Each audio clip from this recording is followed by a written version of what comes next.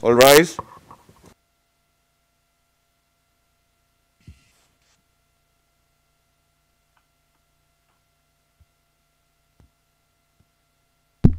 The Kosovo Specialist Chambers is Specijalizovana veća Kosova sada zasedaju. Izvolite sesti.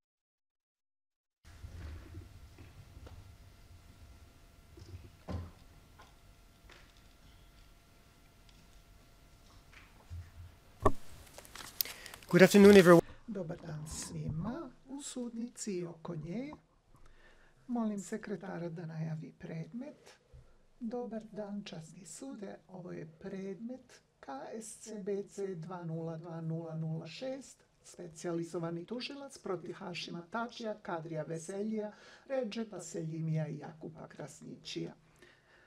Zahvaljujem. Molim sada strane i učesnike da se predstave, počeši sa tužiocem. Izvolite. Dobar dan, časni sude.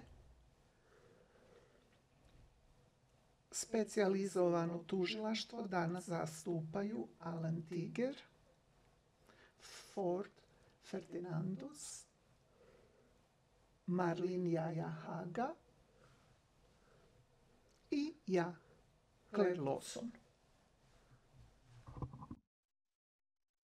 Now I turn to the Zahvaljujem. Sad da se obraćam odbrani. Molim da se odbrane predstave.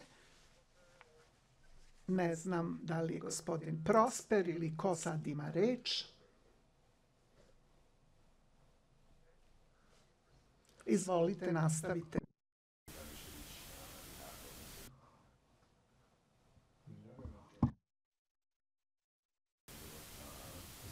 I, excuse me, the interpreters just mentioned that they cannot hear you, so there might be a problem with the microphone. But I see that your microphone is on, so it shouldn't be a problem. So let's see how this can be fixed. It might be because this microphone does not work. Can you hear me now? Now I can hear you perfectly, and Da li me sada čujete? Da, sada vas čujemo radi transkripta. Dakle, nije gospodin Kiho. U transkriptu ne stoji tačno ime za ovog zastupnika odbrane. Izvinjavam se zbog tehničkih problema. Dobar dan, ja sam Luka Mišetić, zastupam gospodina a, Tačija i u mom timu su Sophie Menegon, Bonnie Johnson i uh, na video vezi su advokati gospodin Pierre Prosper i David Dustin Palaska. Dobar dan. U redu sljedeći zastupnik odbrane. Dobar dan, ja sam Ben Emerson i zastupam gospodina Veselija zajedno sa sa braniocem gospodinom Nikolasom Kaufmanom. Predstavit ću sudiju u redu gospodine Jong. Dobar dan, časni sude. Mi zastupamo gospodina Ređepa Seljimija, to jest ja, ja sam David Young, zahvaljujem. A sada zastupnik gospodina Krasnićija. Dobar dan, ja sam Venkatešvarija Gendra zajedno sa sabraniocem Ajdanom Elisom i sa gospodinom Mentor Bećiljem i mi smo ovde u ime gospodina Krasnićija. Zahvaljujem. Radi zapisnika želim da kažem da su gospodin Tači, gospodin Veselji, gospodin Seljimi i gospodin Krasnići sa nama preko videokonferencijske veze i nisu fizički prisutni u sudnici. A sada se obraćam zastupniku žrtava. Izvolite, gospodin Loz, dobar dan časni sude, dobar dan svima, ja sam Simon Loz, i zastupnik žrtava. Sudjegiju, a sada dajem reč sekretarijatu. Sekretarijat, dobar dan, časni sude za sekretarijat, ja sam Stefan Wolfard, a sa mnom je i sekretar dr. Fidelma Donlon. Predstavljajući sudije, u redu zahvaljujem. Podsjećam strane da bi, ako bilo ko bude imao ikakvih tehničkih problema tokom ove statusne konferencije, molim vas da odmah o tome obavestite sudskog službenika i mene, tako što ćete mahati rukom. Podsjećam vas na istorijat ovog predmeta. 12. jula 21. zakazao sam ovu šestu statusnu konferenciju. Zamolio sam strane da podnesu pismena izjašnjenja ako žele. 16. juna tužilaštvo odbrana gospodina Tačija, zastupnik žrtava, sekretar, su podneli svoje pismene podneske. Ja im se zahvaljujem kao i učesnicima, stranama i učesnicima na tim pismenim podnescima. Na osnovu njih ja sam e, malo izmenio dnevni red kako bi obuhvatili sledeća pitanja. Ažuriranje preliminarnih podnesaka, obelodanjivanje, obelodanjivanje materijala zaplenjenog tokom e, pretrage, dakle, e, zatim klasifikacija dokumentata u um, programu Legal Workflow i druga pitanja vezana za Legal Workflow i pravilo 86.3 i zahtev odbrane za preliminarni spisak svedoka, zatim prevodi i status istraga tužilaštva, status istraga odbrane, tačke slaganja o pitanjima prava i činjenica, zatim pritvor i datum za sedmu statusnu konferenciju, kao i bilo koje drugo pitanje koje strane žele da pokrene. Svrha naše sednice danas je da razmotrimo status u predmetu i da porazgovaramo o pitanjima na dnevnom redu i pozivam strane da, kao i obično, koncizno iznesu svoje mišljenje o svakoj tačci um, našeg dnevnog reda. Tim redosledom i podsjećam strane da nas obaveste unapred ako će spominjati bilo kakve poverljive informacije, tako da možemo da pređemo na privatnu ili poluprivatnu sednicu. Prvo, želim da obavestim strane o najnovijem statusu preliminarnih odluka o preliminarnim podnesima. Dve odluke ću objaviti sutra. Prvo, odluku o podnescima kojima se osporava um, nadležnost specializovanih veća shodno pravilu 97.1a, a drugo odluka o podnescima u kojima se navode nedostaci u obliku optužnice shodno pravilu 97.1b. Odluke se bave um, sa ponekoliko podnesaka. Takođe obaveštavam strane da svi rokovi za dopuštenje za podnošenje žalbe će se produžiti do nakon sudske pauze. I to ću takođe navesti u odluci. Takođe obaveštavam strane da ću treću odluku o ustavnim pitanjima objaviti u avgustu nakon što se završi sudska pauza. Sada ćemo preći na prvu tačku dnevnog reda, a to je obelodanjivanje. Like to hear from... Želim prvo da dam reč tužilaštvu o tome dokle su oni stigli u obelodanjivanju dokaznog materijala, posebno dokle su stigli u obelodanjivanju materijala po pravilu 101 102.1b, zašto je rok bio 23. juli 21. E, godine. Dakle, e, u skladu sa ovim rokom da kažu koliko je materijala do sad obelodanjeno, koliko treba tek da se obelodanji i da li tužilaštvo namerava da podnese još zahteva za zaštitne mere za dodatni materijal po pravilu 102.1b. Ako je to tako, onda koja je koji je realan vremenski rok bio da tužilaštvo ispuni svoje obaveze obelodanjivanja po pravilu 102.1b, zatim da li je tužilaštvo um, um, se pridržava rokova da odbrani da detaljno obaveštenje o dokazima prema pravilu 102.3, a rok je za to e, petak 30. juli 21. da li ima e, oslobađajućeg materijala e, koji tužilaštvo ima, koji odbrani mora da se obelodani shodno pravilu 103 da li nameravaju da podnesu dodatne zahteve za zaštitne mere u vezi tog materijala i na kraju da li strane predviđaju bilo kakve poteškoće u vezi obelodanjivanja što se tiče materijala po pravilu 107 i da li po tom pitanju nameravaju da podnesu i kakva izjašnjenja. Naročito u skladu sa izjašnjenjem tužilaštva od 16. jula želim da znam koliko um, zahteva za izmenu i dopunu tužilaštvo namerava da podnese i kada i koji bi razumni rok bio za još uvek nerešene zahteve po pravilu 107 i na kraju um, okvirni broj um, izveštaja veštaka koje tek treba završiti, a o tome je govorilo tužilaštvo u svom podnesku. Dakle, radi se o dosta tema, dajem reč tužilaštvu. Gospođa Lawson, kao što stoji u našem izjašnjenju, tužilaštvo još uvek se pridržava rokova što se tiče obelodanjivanja shodno pravilu 102.1b. Od poslednje statusne konferencije podneseno je 10 dodatnih kompleta materijala po pravilu 102.1b. To su uh, kompleti 37, 38, 40, 41, 42, 43, 44, 46, 48 i 49. Pored toga, podnesena su dodatna dva zahteva za zaštitne mere 4. juna i 8. jula.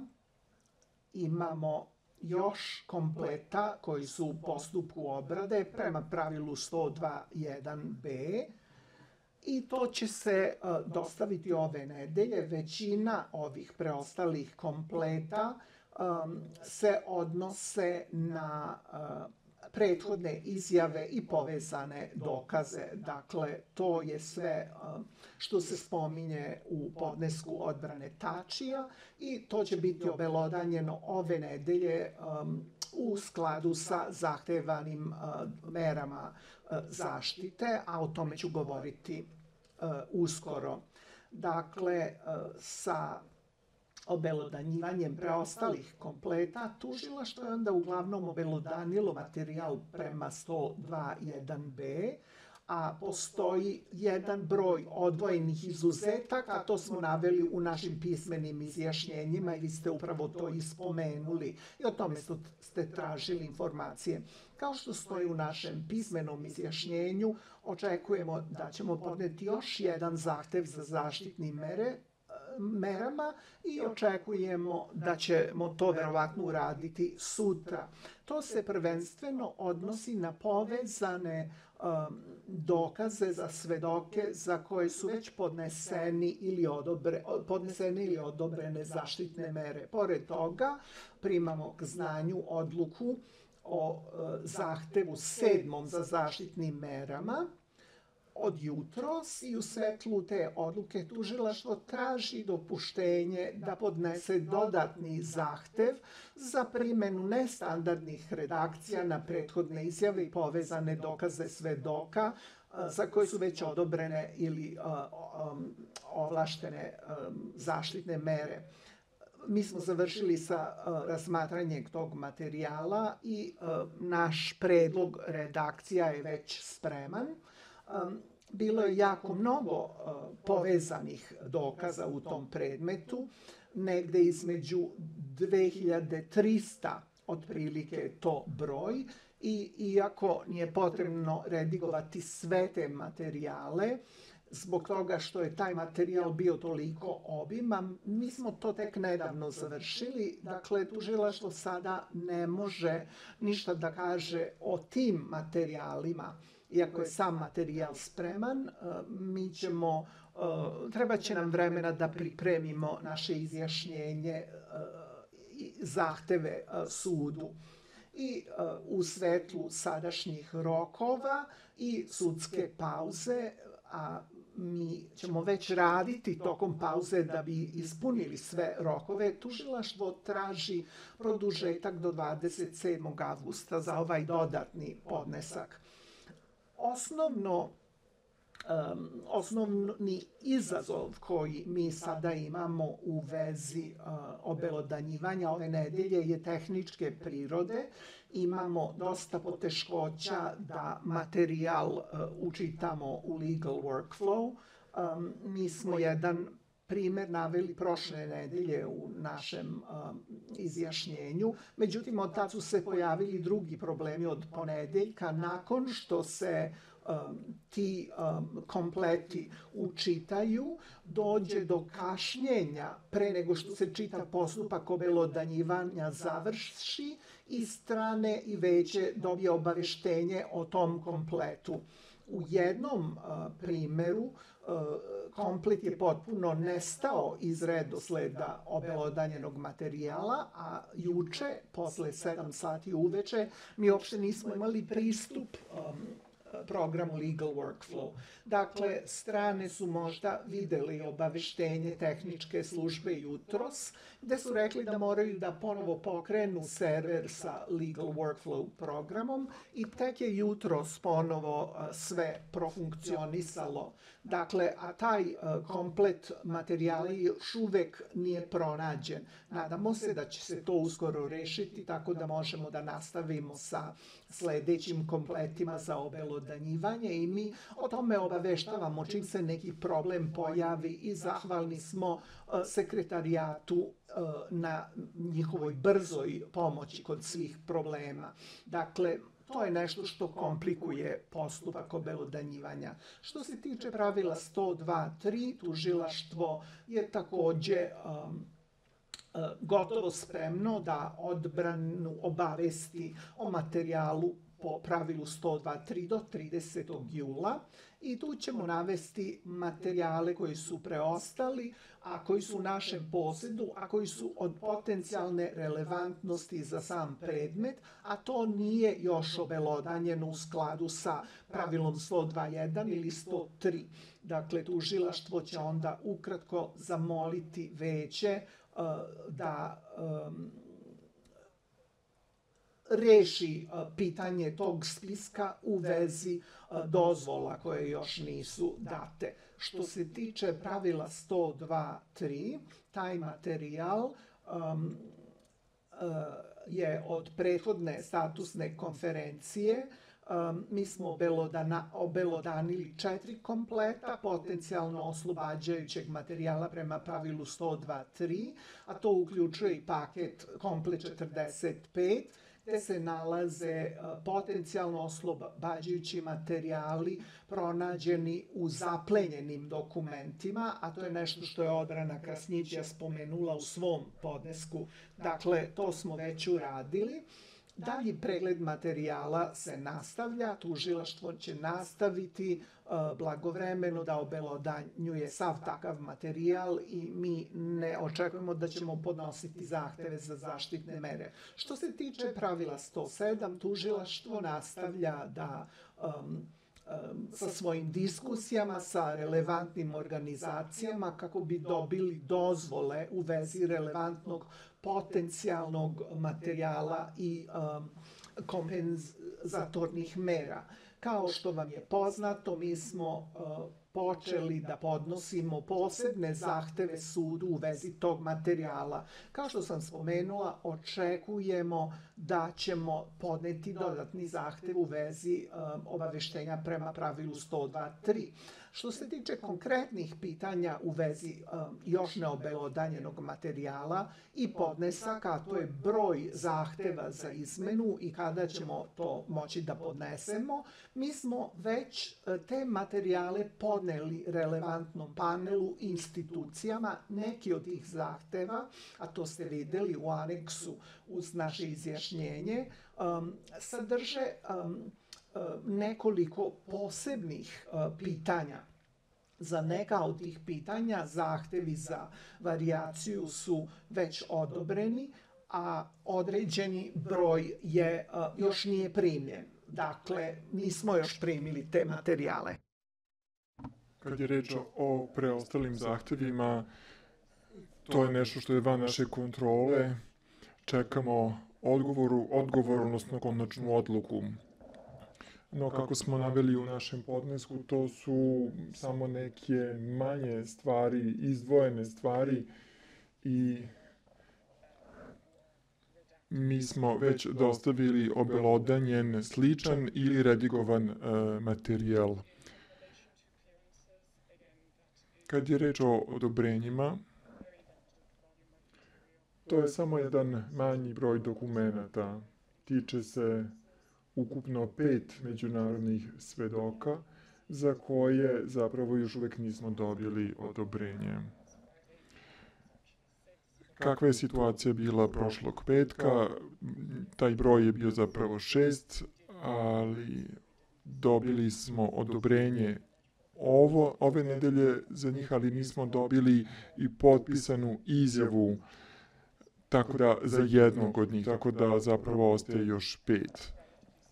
Pored toga, imamo relativno mali broj e, dokumenta i kada kažem relativno mali, to je zapravo negde manje od 50.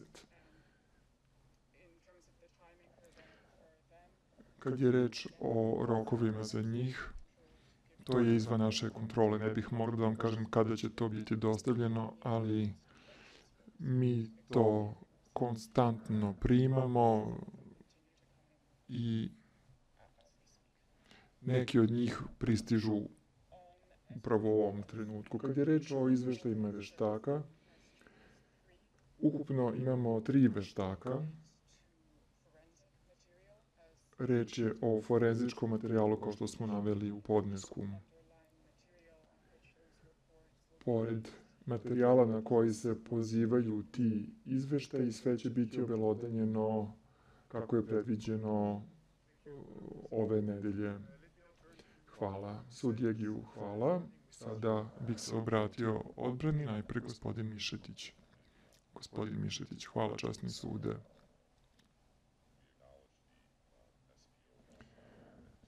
Mi vidimo da je tužilaštvo posvećeno tome da materijal prema pravilu 121b bude obelodanjen do petka i nedavno, zaista nedavno smo dobili komplete stotina dokumenta i svega nekoliko sati pre današnje statusne konferencije smo dobili tako neke dokumente koje još uvijek nismo imali priliku da pogledamo.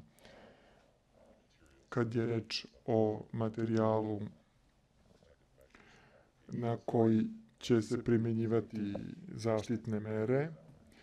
Vi ste odredili da je rok 4. jun za traženje zaštitnih mera za svedoke.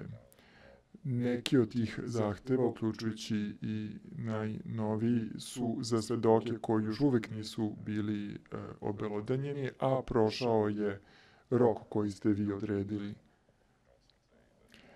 od tužioca danas čujemo da će taj materijal biti predmete sledećeg zahteva, koji se neće ticati novih svedoka, već materijala povezanog sa postojećim svedocima koji do sad nisu obelodanjeni, koji do sad nije obelodanjen.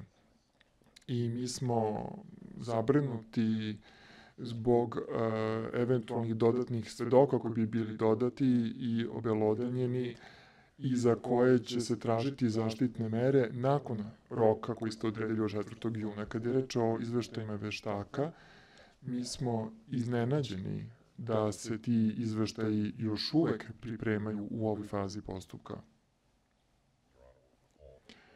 Prisjetit ćete se časni sude da u novembru tužilaštvo je navelo da nema razloga zašto tu suđenje ne bi moglo da počne ovog meseca zapravo, a sada nam kažu da još tri izveštaja veštaka se pripremaju i neće biti spremni da budu obelodanjeni e, pre određenog e, roka za obelodanjivanje.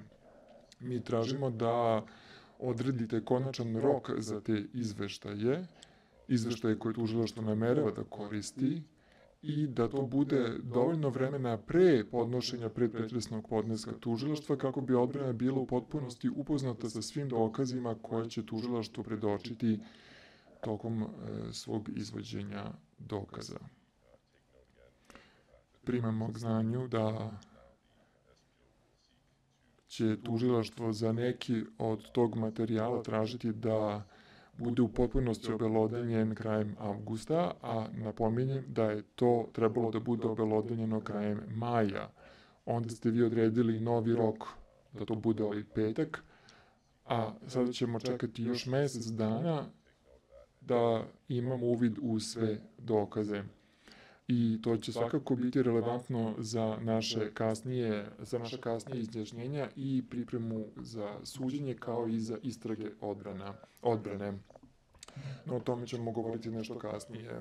Hvala časni sudje. Sudje Giju, izvolite gospodine Emerson. Emerson, gospodin Kaufman će uzeti reč, ako dopustite. Sudje Giju, izvolite, gospodin Kaufman. Hvala časni sude. Kao što piše u pravilu 96.1 svrha statusne konferencije da se priprema za suđenje odvija na odgovarajući i blagovremeni način. Ja sada želim da postavim pitanje kako tužilaštvo namerava da tako postupa ukoliko 21. juna oni su nam dali e, pristup svega 1535 kompleta. To nije odgovarajući način rada. To je jednostavno bacanje materijala kako pristigne. Govorimo o svega 43% materijala koji je obelodanjen. Gospodin Lawson je s pravom i gotovo s ponosom izjavio, um, to je gospođa Lawson ispreka prevodica je gotovo s pravom sa ponosom danas izjavila da kompleti prema pravilu 102.1b su obelodanjeni um, otkako je bila prošla statusna konferencija, ali ono što on ne kaže je da je prvi od tih kompleta obelodanjen tek 30. juna, i to paket broj 37. E, kad je reč o rokovima, da vidimo da još da tužilaštvo u svom podnesku e, otvara mogućnost da na mala vrata traži e, podnošenje zahteva za odlaganje rokova, odnosno za nove rokova. Po mom mišljenju,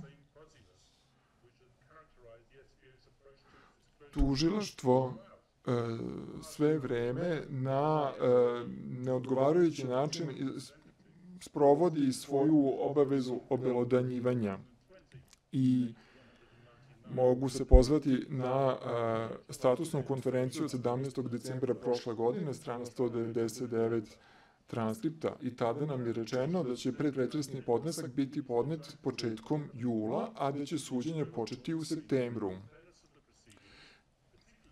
Potrebno je časni sude da odredite krajnji rok za ovo. Rok za obelodanjivanje nije neka preporuka i ne može se tek tako menjati. Daću još jedan primer.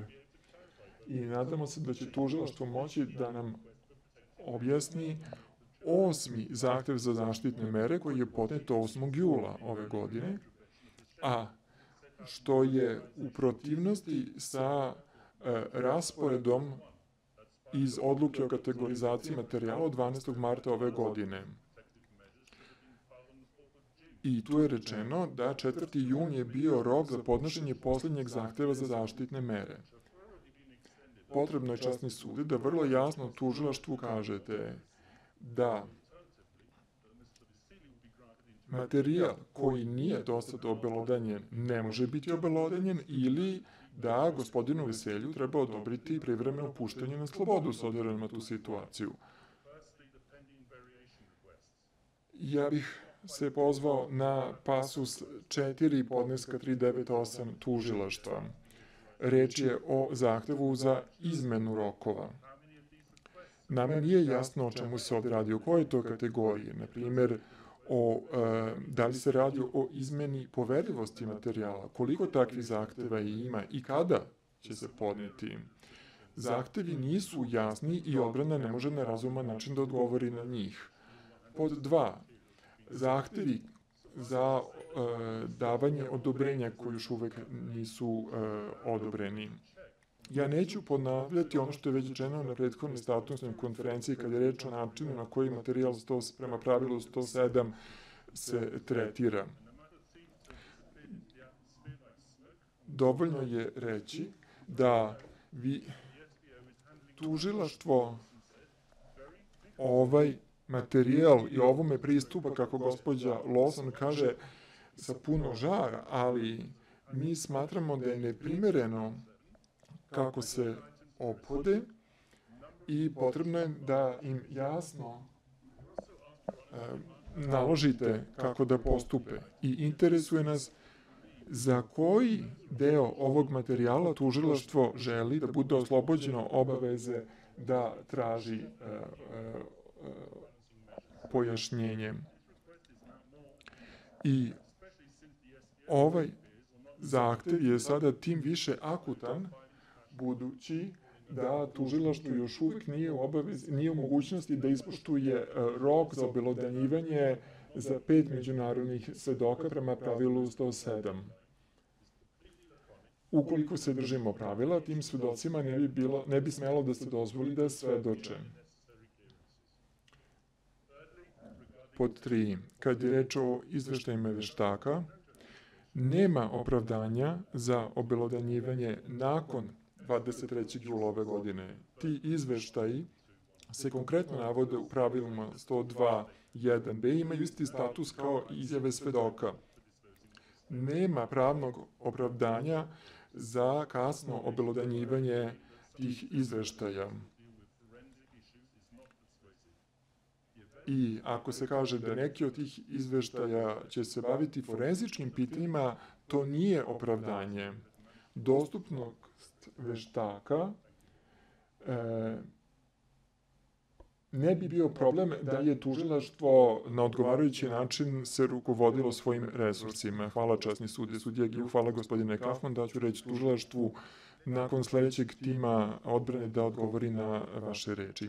Sada ću dati reč gospodinu Jangu. Gospodin Jang, hvala. U ime gospodina Seljimija želim da kažem da podržavamo bojazni koje je su izneli gospod, zastupnici gospodina Tačija i gospodina Veselja, tako da neću uh, ponavljati ono što je rečeno, želim samo još dve stvari da kažem.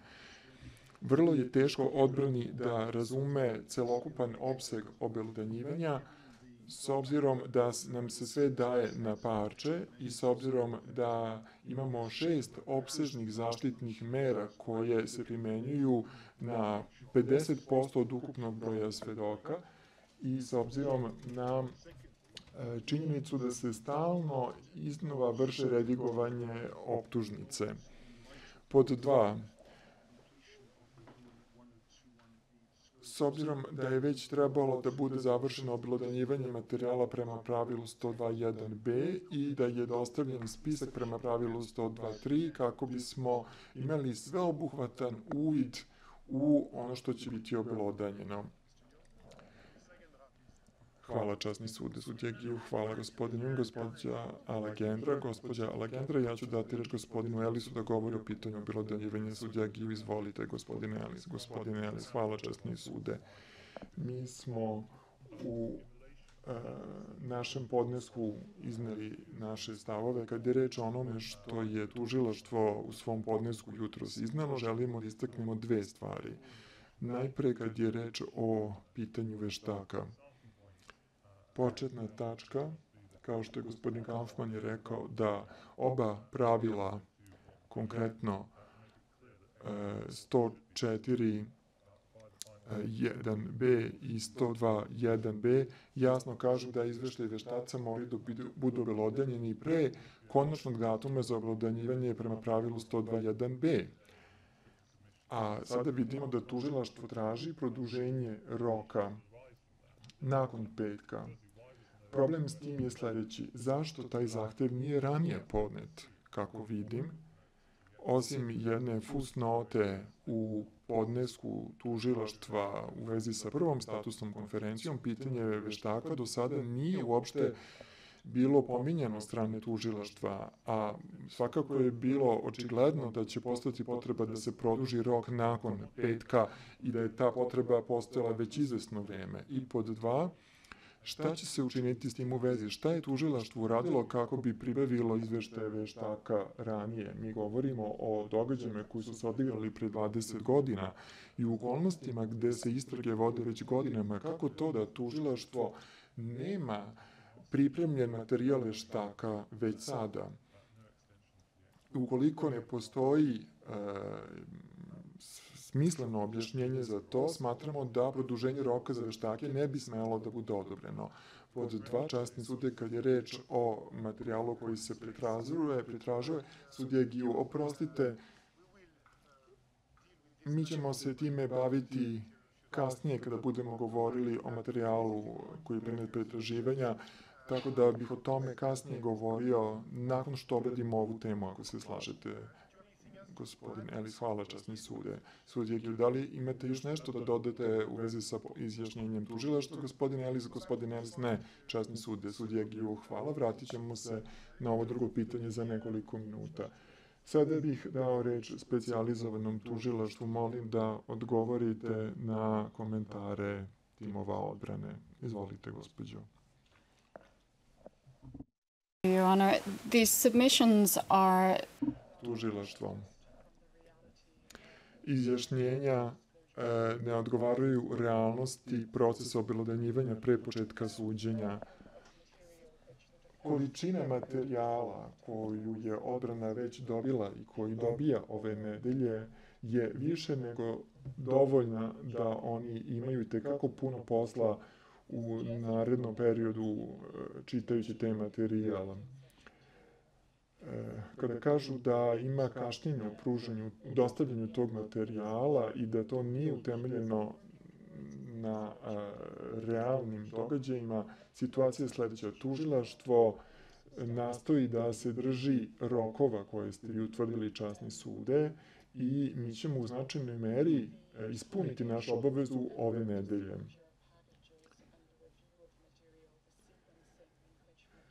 Kompleti koji se obelodanjuju i redosled kako se taj materijal obelodanjuje je povezan sa potrebom određivanja prioriteta za koji materijal su potrebne zaštitne mere, za ko, a za to je potrebna priprema i određeni određene pripremne mere moraju biti preduzete. Tužilaštvo je radilo na tome da podnese zaštitne, e, zahteve za zaštitne mere shodno e, rasporedu koji ste vi odredili.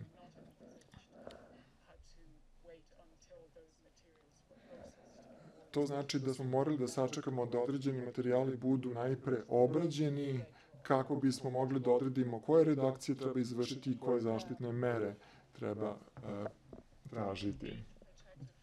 request which Zahtev za osam zaštitnih mera podnesen početkom jula je u stvari podnešen nakon rasporeda koji ste vi naveli za podnošenje zahteva o zaštitnim merama. Međutim, mi nismo razumeli da je to definitivan raspored i da to znači da se zaštitne mere uh, mogu samo uh, odluke o tome doneti na te konkretne datume. Međutim, mi smo e, što je ranije bilo moguće e, to i podneli. Jedan jedini faktor koji u stvari imao najveće uticaja na rokove obelodanjivanja u ovom predmetu nema e, nikakve veze sa zahtevima tužilaštva ili na našem radu, već je to u stvari za dodatnu pod klasifikaciju materijala po zahtevu odbrane.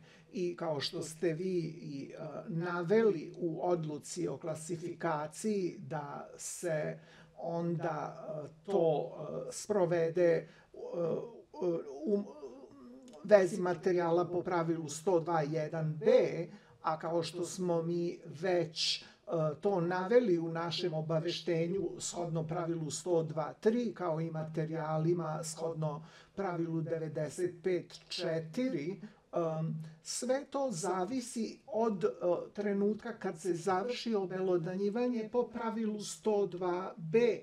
Što se tiče nekih drugih pitanja, ja mislim da ću u stvari um, a odbrana je rekla da će oni kasnije detaljnije nešto da kažu o tome. Dakle, ja ću na te onda ta pitanja odgovoriti malo kasnije.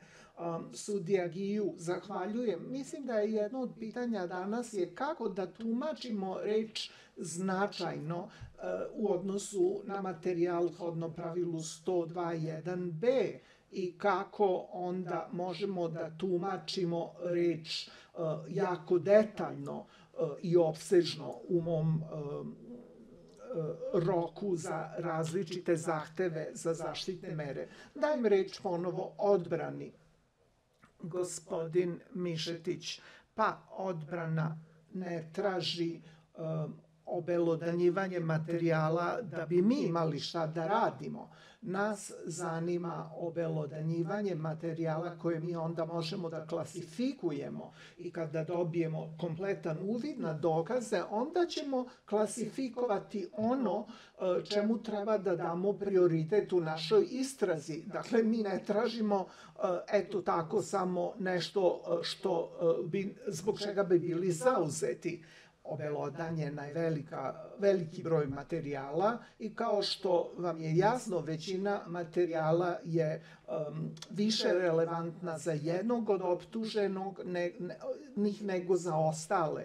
Dakle, samo belodanjivanje papira u stvari ne pomaže odbrani sve dok mi ne steknemo kompletan uvid u informacije kao što smo naveli u našim izjašnjenjima. U ovoj fazi um, nemamo informacije za 102 od ukupno 200 svedoka, a to naravno nama otežava uh, vođenje istraga. Dakle, ja ću se time baviti kasnije. Druga stvar koju želim da spomenem u odgovor na zahteve za zaštitnim merama, mi smo sada čuli da je to podneseno uh, u najranije mogućem trenutku. Očigledno odbrana ne može da uh, to proverava i mi to ostavljamo vama da procenite da li je to stvarno zahtev koji je podnesen u najranijem mogućem trenutku pre uh, roka od 4. juna. Sudija Giju. Zahvaljujem gospodine Mišetić. Mislim, gospodin Jan i gospodin Eli su tražili reč. Gospodin Jan, da, ja ja uh, u stvari e, se slažem sa ovim što je rekla odbrana Tačija i neću da ponavljam to. Gospodin Giju, gospodin Elis, gospodin Elis, pa ja još uvijek nisam dobio jasan odgovor o tome zašto um, i veštaka uh, nisu ranije predati, niti smo se bavili tim pitanjem. Um, sudija Giju, zahvaljujem gospodine Elis. E sad vraćamo se tužilaštvu u veži ovog pitanja. Um, tužilac, pa naravno, ja ću rado odgovoriti na to. Tužilaštvo je um, u najranijem mogućem trenutku uh, nastojalo da pronađe i da uputstva veštacima. Međutim, naišli smo na određene poteškoće u vezi toga. Jedan od primera je uh, to da jedan veštak nije dobio dozvolu da svedoči u ovom postupku, onda smo morali da tražimo drugog veštaka ko bi mogao onda da govori o istim tim pitanjima. Dakle, sav forenzički materijal na kom će se zasnivati izveštaj veštaka će biti obelodanjen do kraja roka ove nedelje. Mi govorimo u suštini o tri um, izveštaja veštaka koji još uvek nisu podneseni. Što se tiče drugog, um, drugih pitanja koja su još uvek otvorena, bit će zahteva za izmenama ili za um, dobijanjem saglasnosti i radi se o vrlo ograničenim um, odvojnim zahtevima kada se pogleda ukupan e, obim ovog predmeta i obim materijala koji se obelodanjuje i koji je već na raspolaganju odbrani. Zahvaljujem sudija Giju. Vi ste ranije rekli da 27. avgusta ćete moći da završite obelodanjivanje materijala shodno 102.1b. Da li je to tačno, da li sam to pravilno shvatio, a ako nisam, šta će još uvek um, biti neobelodanjeno od ovog datuma i kad ćete moći sve to da uradite, jer to naravno ne zavisi samo o vašem uh, radu. Uh, tužilac nečasni sude. 27. avgust je rok do koga očekujemo da ćemo podneti zahteve za zaštitne mere u svetlu vaše odluke u vezi sedmog zahteva za zaštitne mere.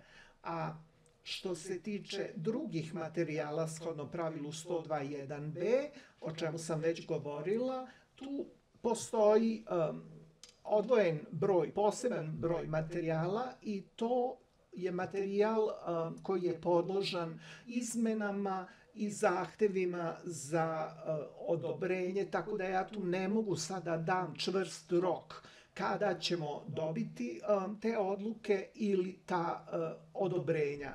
Dakle, kako materijal bude oslobađan, mi ćemo ga i promptno obelodanjivati. Što se tiče um, pitanja o izveštajima veštaka, da li će to biti podneseno zajedno sa materijalima shodno 95.4.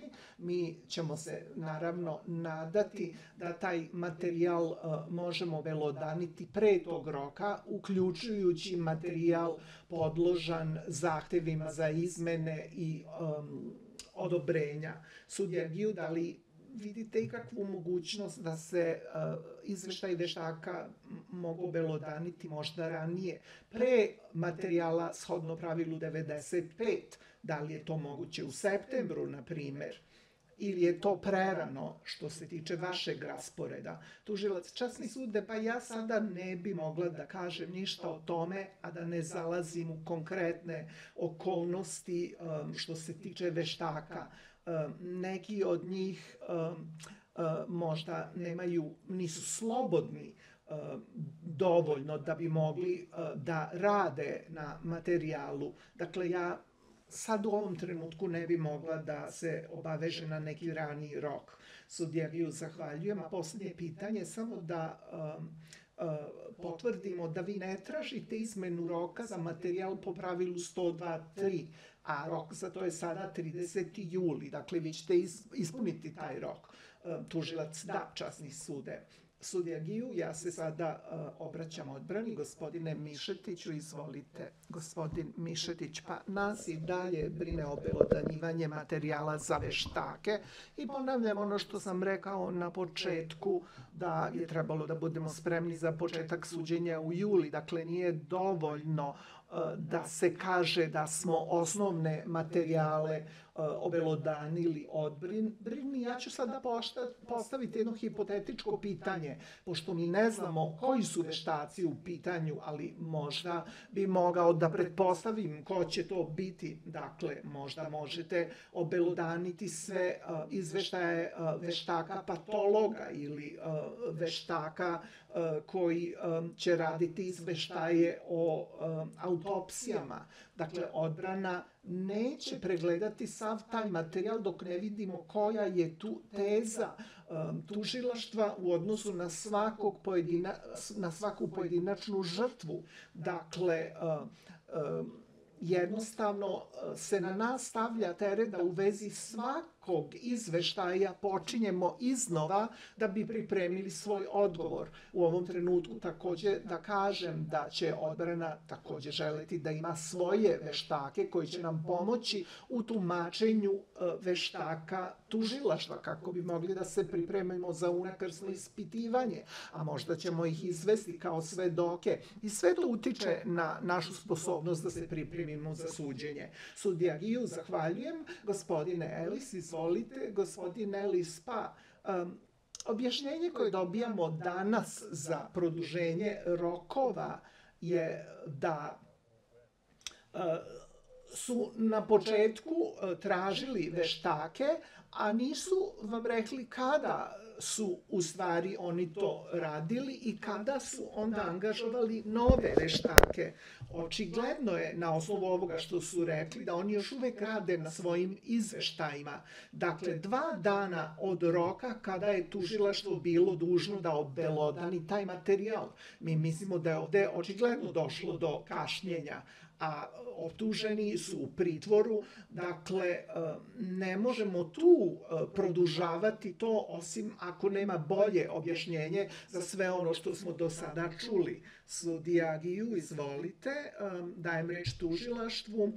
Tužilac časni sud, želim da podsjetim sve advokate ovde u kojoj se tačno fazi postupka nalazimo. Ovo je, e, dosta smo daleko odmakli u pripremi za e, postupak i tužilaštvo ispunjava sve svoje obaveze i ispunjavalo bi ih, je ih kako bismo uopšte došli do ove faze. Međutim, nismo u fazi kada je određen početak suđenja i dakle um, um, ta um, tvrdnja da sve što dolazi nakon roka od 23. jula, imajući u vidu obim materijala koji jeste obelodanjen i na raspolaganju, je um, u stvari uh, ne može da potvrdi tezu odbrane da se oni time um, oštećuju na neki način u svojim pripremama. Jednostavno, to nije tačno uh, kada se vidi u kojoj smo fazi proceduralno i kada vidimo koji su koraci još potrebni pre nego što uopšte ovaj predmet može da se prosledi panelu. Dakle, um, uh, treba i da čujemo uh, odluke um, žalbenog panela to je relevantno. Dakle, um, mislimo da taj rok od u julu jednostavno ima vrlo malo uticaja na uh, mogućnost odbrane da se pripremi za suđenje. Sudjegiju zahvaljujem i ja sada želim da kažem stranama da ću izdati usmenu odluku na kraju ovog um, ove konferencije u vezi rokova obelodanjivanja. Sada prelazim na drugo pitanje koje je pokrenula odbrana Krasnićija, a to je pitanje o kome već malo govorio gospodin Ellis, a to je obelodanjivanje materijala zaplenjenog u novembru 2020. i želim da čujem prvo šta o tom ima da kaže odbrana Krasnićija. Gospodin Elis, izvolite, gospodin Elis, časni sude, mi smo juče dobili komplet materijala um, obelodaljenog materijala sa određenim brojem dokumenta za koji uh, se tvrde da su um, bili u posjedu gospodina Krasnićija. Mi naravno ne znamo da li je to um, sve oslobađajući materijal. Uh, onda je bio još jedan komplet obelodanjenog materijala uh, shodno pravilu 102.1b iz te iste um, pretrage. Ako se to sve uzme zajedno, čini se da je to samo jedan mali deo dokumenata koji je zaplenjen uh, tokom te pretrage. Ali dok ne vidimo uh, sve što će se naći na spisku 102.3, možda je prerano da o tome damo svoj neki komentar. Jesmo dobili neki oslobađajući materijal juče, ali ne znamo šta je još ostalo u vezi toga. Sudija Giju, zahvaljujem gospodine Ellis, pre nego što dam reč tužilaštvu, da li još neko um, od timova odbrane želi nešto da kaže? Ne, u redu dajem reč o, o tužilaštvu. Tužilaštvo, časni sude, dva kompleta um, su obelodanjena um, zaplenjenog materijala. Jedan od njih je komplet 44, koji je obelodanjen shodno pravilu 102.1b, a drugi je komplet 45, obelodanjen shodno pravilu 103 taj materijal po pravilu 103 sadrži sve materijale za koji se smatraju potencijalno oslobađajućim iz tih zaplenjenih materijala. Zahvaljujem. E, gospodine Ellis, izvolite. Gospodin Ellis, časni sude, da li to znači da je u toku ocena materijala da bi se videlo šta je oslobađajuće, a šta ne. I da li smo mi onda dobili sve? Tužilac, mislim da ste vi rekli da materijal obelodanjen po pravilu 103 sadrži sav oslobađajući materijal koji je do sada um, određen kao potencijalno oslobađajući materijal. Dakle, molim vas da nam objasnite onda to do sada. Tužilac, uh, materijal je uh, pregledan i materijali koji su obelodanjeni u tom kompletu su takođe pregledani. Dakle, naša obaveza obelodanjivanja oslobađajućeg materijala po pravilu 103 je trajna obaveza. Dakle, možda će se pojaviti više materijala, kada bude jasno e, kojim se sve istragama odbrana bavi. Međutim, to jeste nešto što je stalno u toku i mi stalno moramo da pregledamo, pregledamo materijal. Međutim, u ovom slučaju taj pregled je završen i ono sve što je e, pronađeno kao oslobađajuće, e, što je poznato tužilaštvu, to u ovom trenutku je obelodanjeno. Sudija Giju, u redu, zahvaljujem. A šta je ta, a šta nije pregledano i gde nije identifikovan oslobađajući materijal? Um, da li ima nekog materijala po pravilu 102.1b koji još nije obelodanjen? Um, tužilac, materijal po pravilu 102.1b u uh, kompletu 44 nalazi se materijal 121b iz tih pretraga, dakle, bit će još 50 dodatnih um, uh, materijala iz tih pretraga koje će uh, se obelodaniti u jednom od sledećih kompleta ove nedelje. Sudija Giju, zahvaljujem. Gospodine Ellis, da li imate još pitanja za tužioca u vezi ovoga? Gospodin Ellis, uh, ne, mislim da to odgovara na moje pitanje. Ono što ostaje još uvek otvoreno je da li će taj preostali materijal biti uključen u spisak po pravilu 102.3 sudija Giju, da, to, to sam propustio da vam postavim, dakle, ono što nije 103, a, i što nije 102.1b, da li će to onda biti na spisku 102.3 sledeće nedelje, tužilac da hoće i to je nekih 2300 um, dokumenta. Sudija Giju, zahvaljujem, gospodin Ellis, zahvaljujem časni sude, mi ćemo onda to pregledati i o tome ćemo govoriti sledeće nedelje sudija Giju u redu i možete onda to izneti u svojim podnescima na sledećoj statusnoj konferenciji, ako želite dalje o tome da se govori. Uh, sudija Giju. U redu, želim sada da koristimo uh, klasifikacije u e, legal workflow i da govorimo o drugim pitanjima koje je pokrenula odbrana gospodina Krasnićija. Prvo, u vezi e, povezivanja materijala sa lokalitetima, naročito e, kategorizacija, to je klasifikacija lokacija u odnosu na pravilu 102.1a i um, određivanje imena lokacija u odnosu na materijal po pravilu 102.1b. Drugo, povezivanja sa svedocima, odbrana gospodina Krasnića traži da tužilaštvo izmeni imena dokumenta u legal workflow kako bi uključila relevantni broj svedoka ili da tužilaštvo obelodanji komplet za svakog svedoka u kome bi se nalazile sve izjave kao i dokumenti i materijali koje svedok spomenuo tim izjavama ili razgovorima. Pored toga odbrana gospodina Tačija smatra da nije dobila sve ono što se pominje u izjavama svedoka i razgovorima sa njima. A treće, želim da odbranim gospodina Krasnića govori o svom zahtevu za ažuriranu verziju um, uh, materijala po pravilu 86.3. Počet ćemo sa gospodinom Ellisom. Gospodin Ellis, pa vi znate da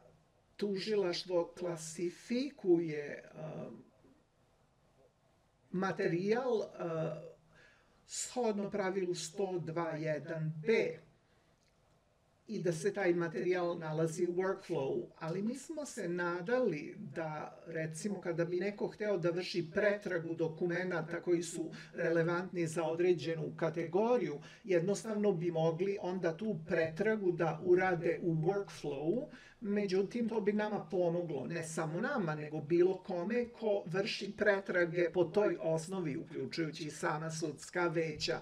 Sadašnji sistem nam to ne omogućava mi smo dali primer, recimo, e, kada smo govorili o 19 lokacija, e, za njih nisu be, bili vezani nikakvi dokumenti i mislim da je sada potrebno da kažem kakva je najnovija situacija.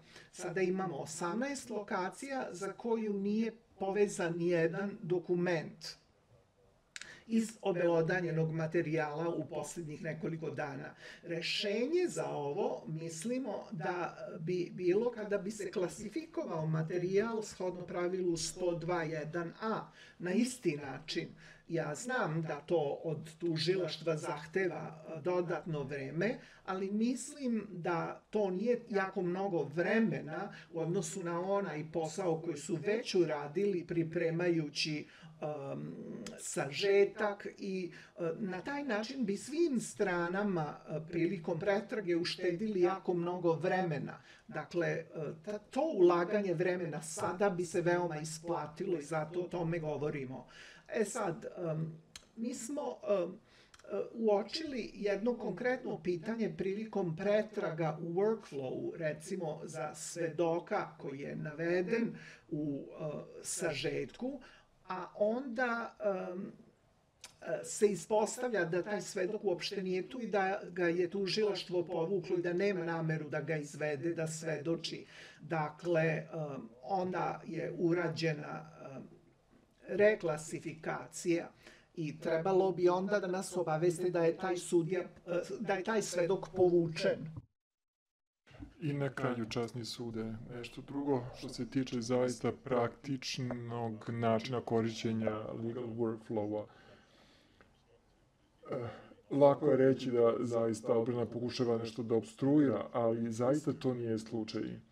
Mi pokušavamo da se služimo materijalom koji dobijamo i već je odbrana na više statusnih konferencija rekla da nam se materijal dostavlja komad po komad, a mi zaista pokušavamo da nađemo način kako da, nakon što je dokument obelodanjen, lako povezati taj dokument sa svedocima koji se tiče. I zbog toga smo izneli predlog da se e, prave kompleti za svedoke Mislim da je odbrana gospodina Tači iznala taj predlog pre nekoliko, na, na nekoj prethodnih statusnih konferencija. I, ili da pak imamo spisak svedoka koji se tiču datog kompleta materijala. Ili makar da nam potrebno da nam se jasno kaže šta je obelodanjeno je povezano sa kojim svedocima i, na primer, imamo ranije izjave zaštićenih svedoka gde se ne navodi uvek broj svedoka u nazivu dokumenta. I zaista nije lako uspostaviti vezu sa datim svedokom. A kad je reč o e, identitetu svedoka koji je poznat, neki od tih svedoka su opisani u workflowu, odnosno neke izjave su opisane, ali broj više svedoka ima isto ili slično prezime, a imaju isti broj. I onda je teško vršiti e, pretragu. Bolje bi bilo da se pretraga vrši preko broja. Sudija Giju, hvala gospodine Elisa. Nego što dam reč tužilaštvu, da li bi neko od odbrane želi još da uzme reč, gospodine Mišetić, gospodine Mišetić, Mišetić Samo da kažem da se i odbran gospodina Tačija e, pridružuje ovom izjašnjenju. Sudje sudje gospodine Kaufman, gospodin Kaufman, i mi se slažemo sa onim što je izloženo gospodine Giju, hvala. Gospodin Kihov, i mi se slažemo sa onim što je rečeno, kaže gospodin Young, ispravka prevodioca. E, naročito kad je reč o, o tome da se e, jedan paket dokumenta obelodanjuje, jedan komplet obelodanjuje po svedoku. To bi nam olakšalo e, rad. Sudjegiju, hvala gospodine Jank. Sada ću dati reč tužilaštvu, najpre da govorimo o kategorizaciji materijala prema pravilu 102.1b i onda i ovim drugim zahtevima. Izvolite, tužilaštvo, imate reč.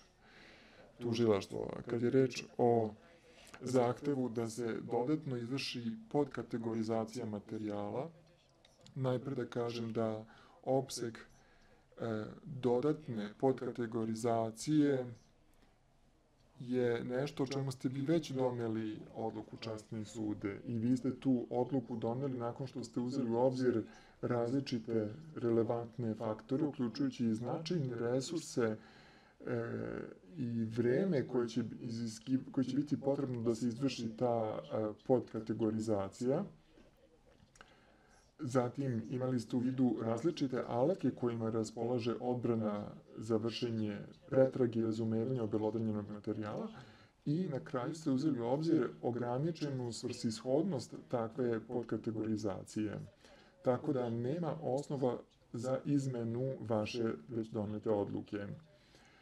Podkategorizacije izvršene na osnovu pravila 109c i vašeg naloga su dodat na alatka za odbranu i to je samo jedna od alatki koje odbrana ima kako bi pregledala obelodanjeni materijal, uključujući prikaz prema pravilu 86.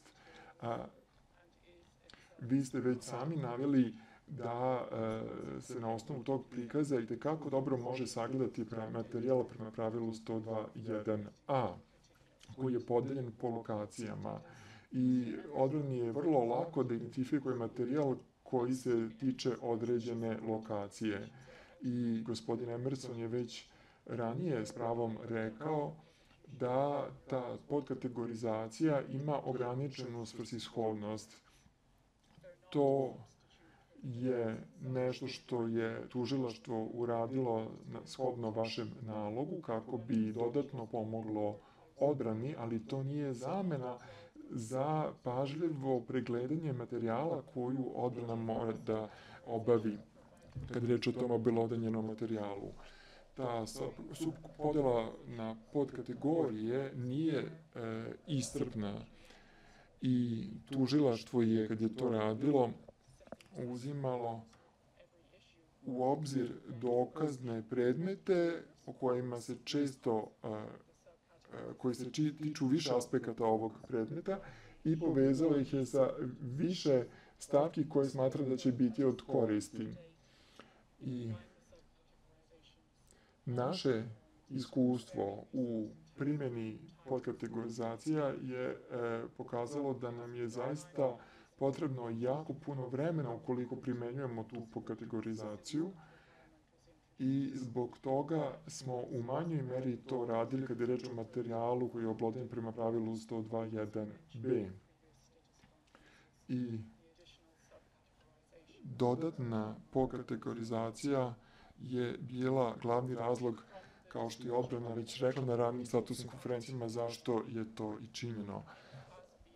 Na osnovu rokova koje ste vi odredili, e, Time smo se vodili kad je vođena, vršena subkategorizacija, a shodno zahtjevima i odbrane. I to je urađeno bilo u vezi sa rokom prema pravilu 121b ili kao e, posledica za druge predmete koji će biti obelodanjeni nakon što se završe obelodanjivanje prema pravilu 121b.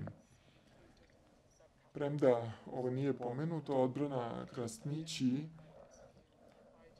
je pokrenula pitanje e, lokacija e, u podkategorijama.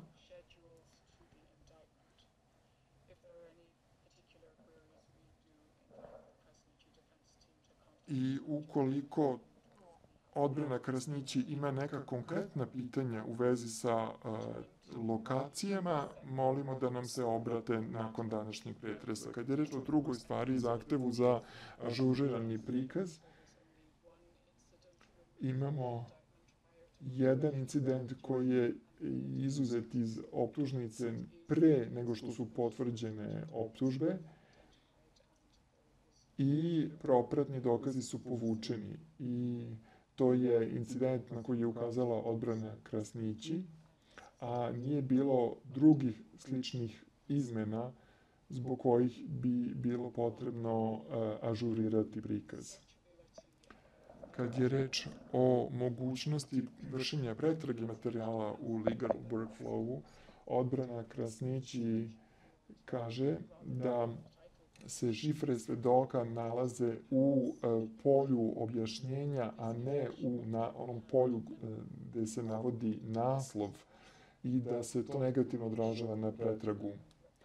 Mi smo takođe uočili taj problem i u martu smo podneli zahtev da to polje opisa bude dodato kao mogućnost za pretragu u legal workflowu budući da ima više zahteva za ažuriranje softvera Legal Workflow, mi smo ovo naveli kao prioritet i očekujemo da će to uskoro biti rešeno. Međutim, u međuvremenu postoji način kako da se prenedrgne ovaj problem, a to je da se uh, uzima Excel, uh, Excel tabela iz Legal Workflowa i U toj tabeli se može vršiti pretraga shodno opisu na temelju šifre svedoka ili imena svedoka. Ukoliko timovi odbrane imaju poteškoće da e, dobiju te Excel tabele, ja sam sigurna da IT služba može da im pomogne. Hvala, sudja Giju. Hvala. Gospodine Ellis gospodin Ellis. Časni sude, mi ostajemo pri onome što smo već izjavili kad je reč o kategorizaciji, naravno da će biti potrebno određeno vreme za to, ali smatramo da bi to bilo od koristi za sve. Kad je reč o upgrade-u legal workflow-a, e, svakako da želimo da toga dođe. Nije samo tužilaštvo imalo poteškoća sa korišćenjem e, legal workflow-a u proteklih nekoliko dana, već je to problem koji e, e, postoji već izvesno vreme, ne samo zato što je velika količina materijala bilo obelodanjeno u proteklih nekoliko dana. Sudija Giju, hvala gospodine Elis. Da li neki drugi tim odbrana želi da uzme reč? Ne?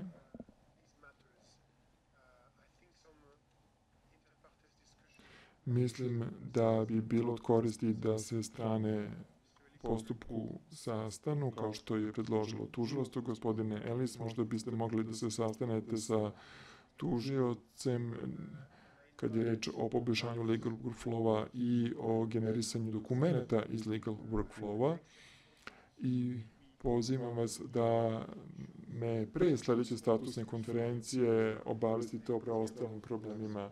Kad je reč o a, pitanju materijala po pravilu 121a, o tome ću doneti odluku za sledeću statusnu konferenciju nakon što čujem kako su se odvijali ti sastanci između strana u postupku. Vidim da je 20 do 4, pa ćemo nastaviti sa sledećom i poslednjom tačkom dnevnog reda u vezi sa obelodanjivanjem. Nakon toga bismo možda mogli da imamo pauzu. Sada bih prešao na zahtev za preliminarni spisak svedoka.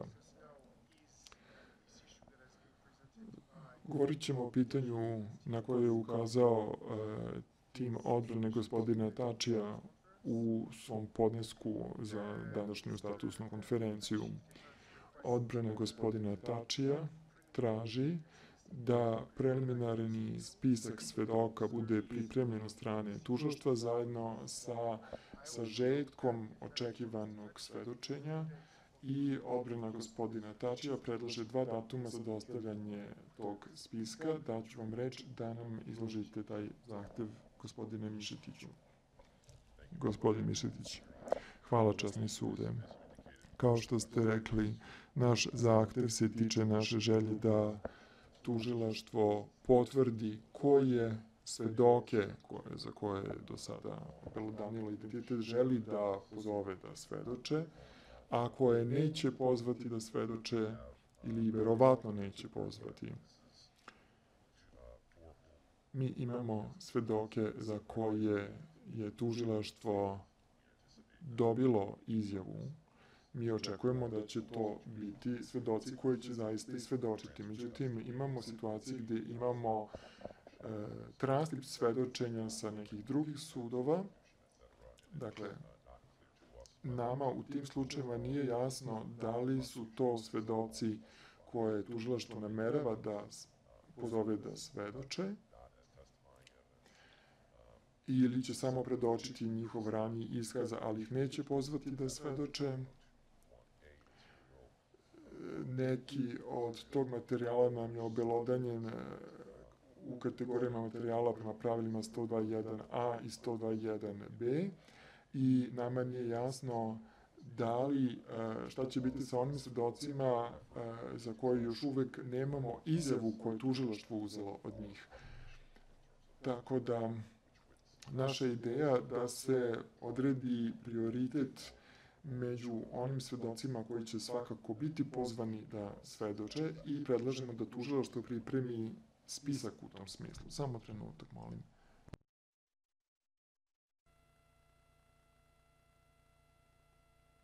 Sorry, and we, we've asked if a preliminary... I molimo da do 2. augusta dobijemo preliminarni spisak svedoka gde će se navesti koji svedoci će svakako svedočiti. Druga kategorija bi bili svedoci za koje je izvesno da neće svedočiti. To bi nam svakako bilo pomoći. Hvala sudija Giju, hvala gospodine Mišetić. Da li neki drugi tim odbrane želi da uzme reč, gospodine Young? Gospodin Young, hvala častni sude. Ovo je zaista vrlo razuman pristup i predlog odbrane gospodina Tačija.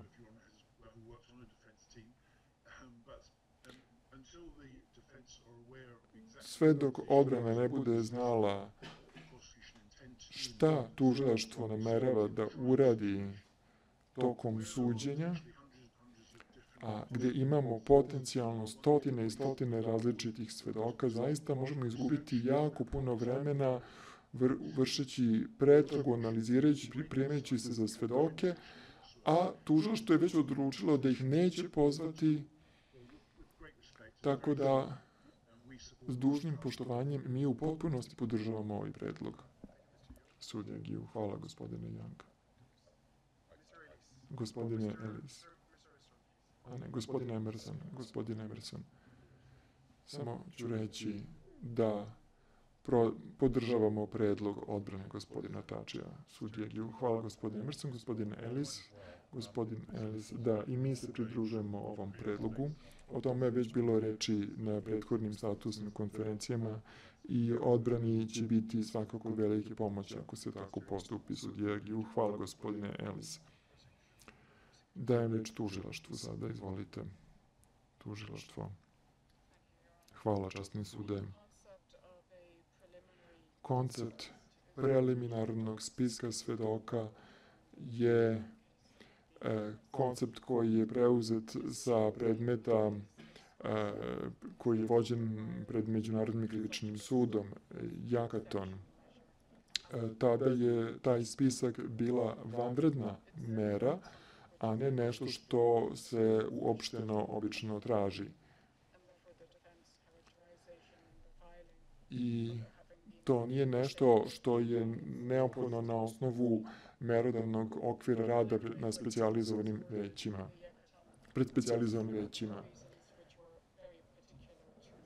Spisak, preliminarni spisak svedoka je naložen u tom predmetu iz konkretnih razloga koji nisu relevantni za ovaj predmet. U maju 2020 po početku izbijanja pandemije virusa korona i kada su uvedene restrikcije zbog covid ljudi su morali da pređu na rad od kuće i zbog tih vanrednih okolnosti sud u predmetu Jekaton nije mogao da organizuje prvu statusnu konferenciju sa stranama, a to svakako nije slučaj u ovom predmetu. Takođe, e, opseg optužbi u predmetu Jekaton je značajno bio smanjen u odluci o potvrđivanju optužnice. I e, postavljeno je pitanje s pravom u kojoj meri će koji svedoci biti pozivani s obzirom da je smanjen opseg optužnice. To su relevantne okolnosti tog postupka. A to nije slučaj u našem predmetu. I to se decilo pet meseci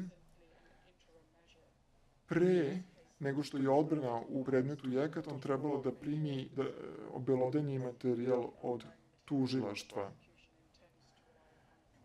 Dakle, to je bila privremena mera. E, tokom ostatka ove nedelje odbrana će primiti materijal koji je u osnovi naših optužbi i na koje tužilaštvo namerava da se pozove tokom suđenja. Nema potrebe da se uvode privremene mere.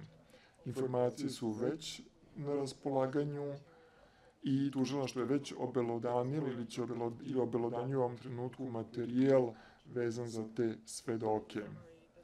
Pozivanje na stotine potencijalnih svedoka nije nešto što se može reći da je tačno u ovom predmetu. Mi smo već obelodanili materijal za te svedoke koje nameravamo da pozovemo da svedoče. I da rezimiram, e, čini se da je taj zahtev predočen van svog odgovarajućeg konteksta.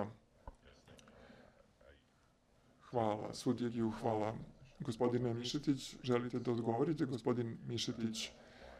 Ja ne razumem zašto je tužilaštvu teško da ovo urade. Oni su toliko vremena proveli pokušavajući da naprave razliku između ovog predmeta i predmeta sa Međunarodnog krivičnog suda, umesto da jednostavno kažu koga neću pozvati da svedoče na ovom suđenju. Mislim da to nije toliki trud koji oni moraju da ulože kako bi napravili takav spisak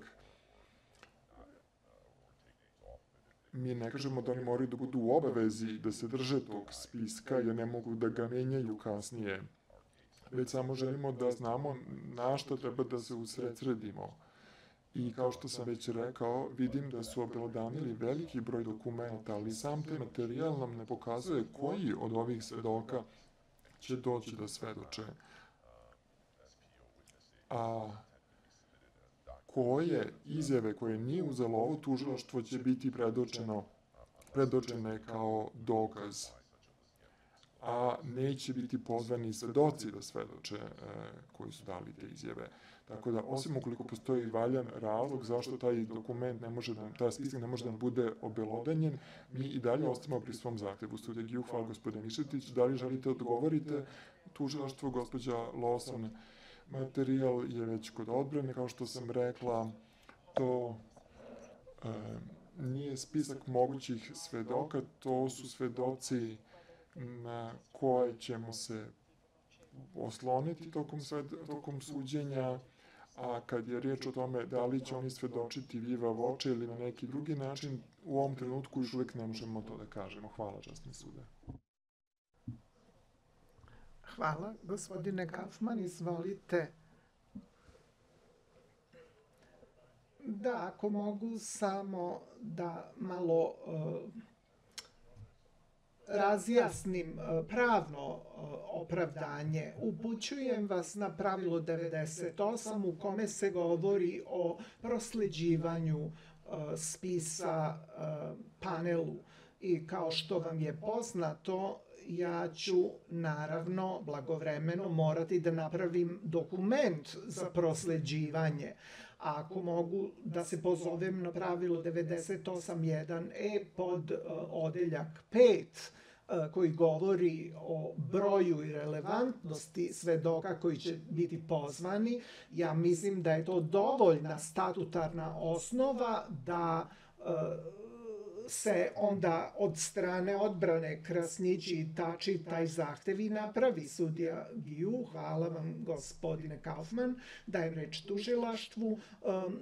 Tužilac pa samo želim isto tako da uputim odbranu na pravilu 95.4 i vidjet ćete tamo da je u stvari spisak svedoka se može dati onda u tom uh, u toj fazi. Sudija Giju, zahvaljujem, ne vidim da bilo ko želi još nešto da pokrene, mi ćemo o tome doneti odluku blagovremeno, vidim da je 3.55. Ako prevodioci dopuste, možemo da nastavimo par minuta sa sledećim pitanjem na dnevnom redu. Da li je to moguće? Prevodilac da, časni sude, sudija Giju, u redu, zahvaljujem se prevodiocima. Sada da pređemo na pitanje prevoda podnesaka i on the translation. na dokazni materijal. Želim prvo da e, se sekretar izjasni o um, tome u kojoj je fazi prevod, um, služba za um, prevod je napredovala u svom poslu sa dokumentima koji imaju prioritet i želim da vidim da li strane imaju još neke dodatne hitne zahteve za prevod. U tom smislu hoću da kažem da je sekretarijat završio prevode poverljivo redigovane verzije um, sažetka po pravilu 86.3, strogo poverljive i poverljive redigovane verzije, odluke o potvrđivanju optužnice i dokumenta koji imaju prioritet podneseni od strane odbrane Krasnići.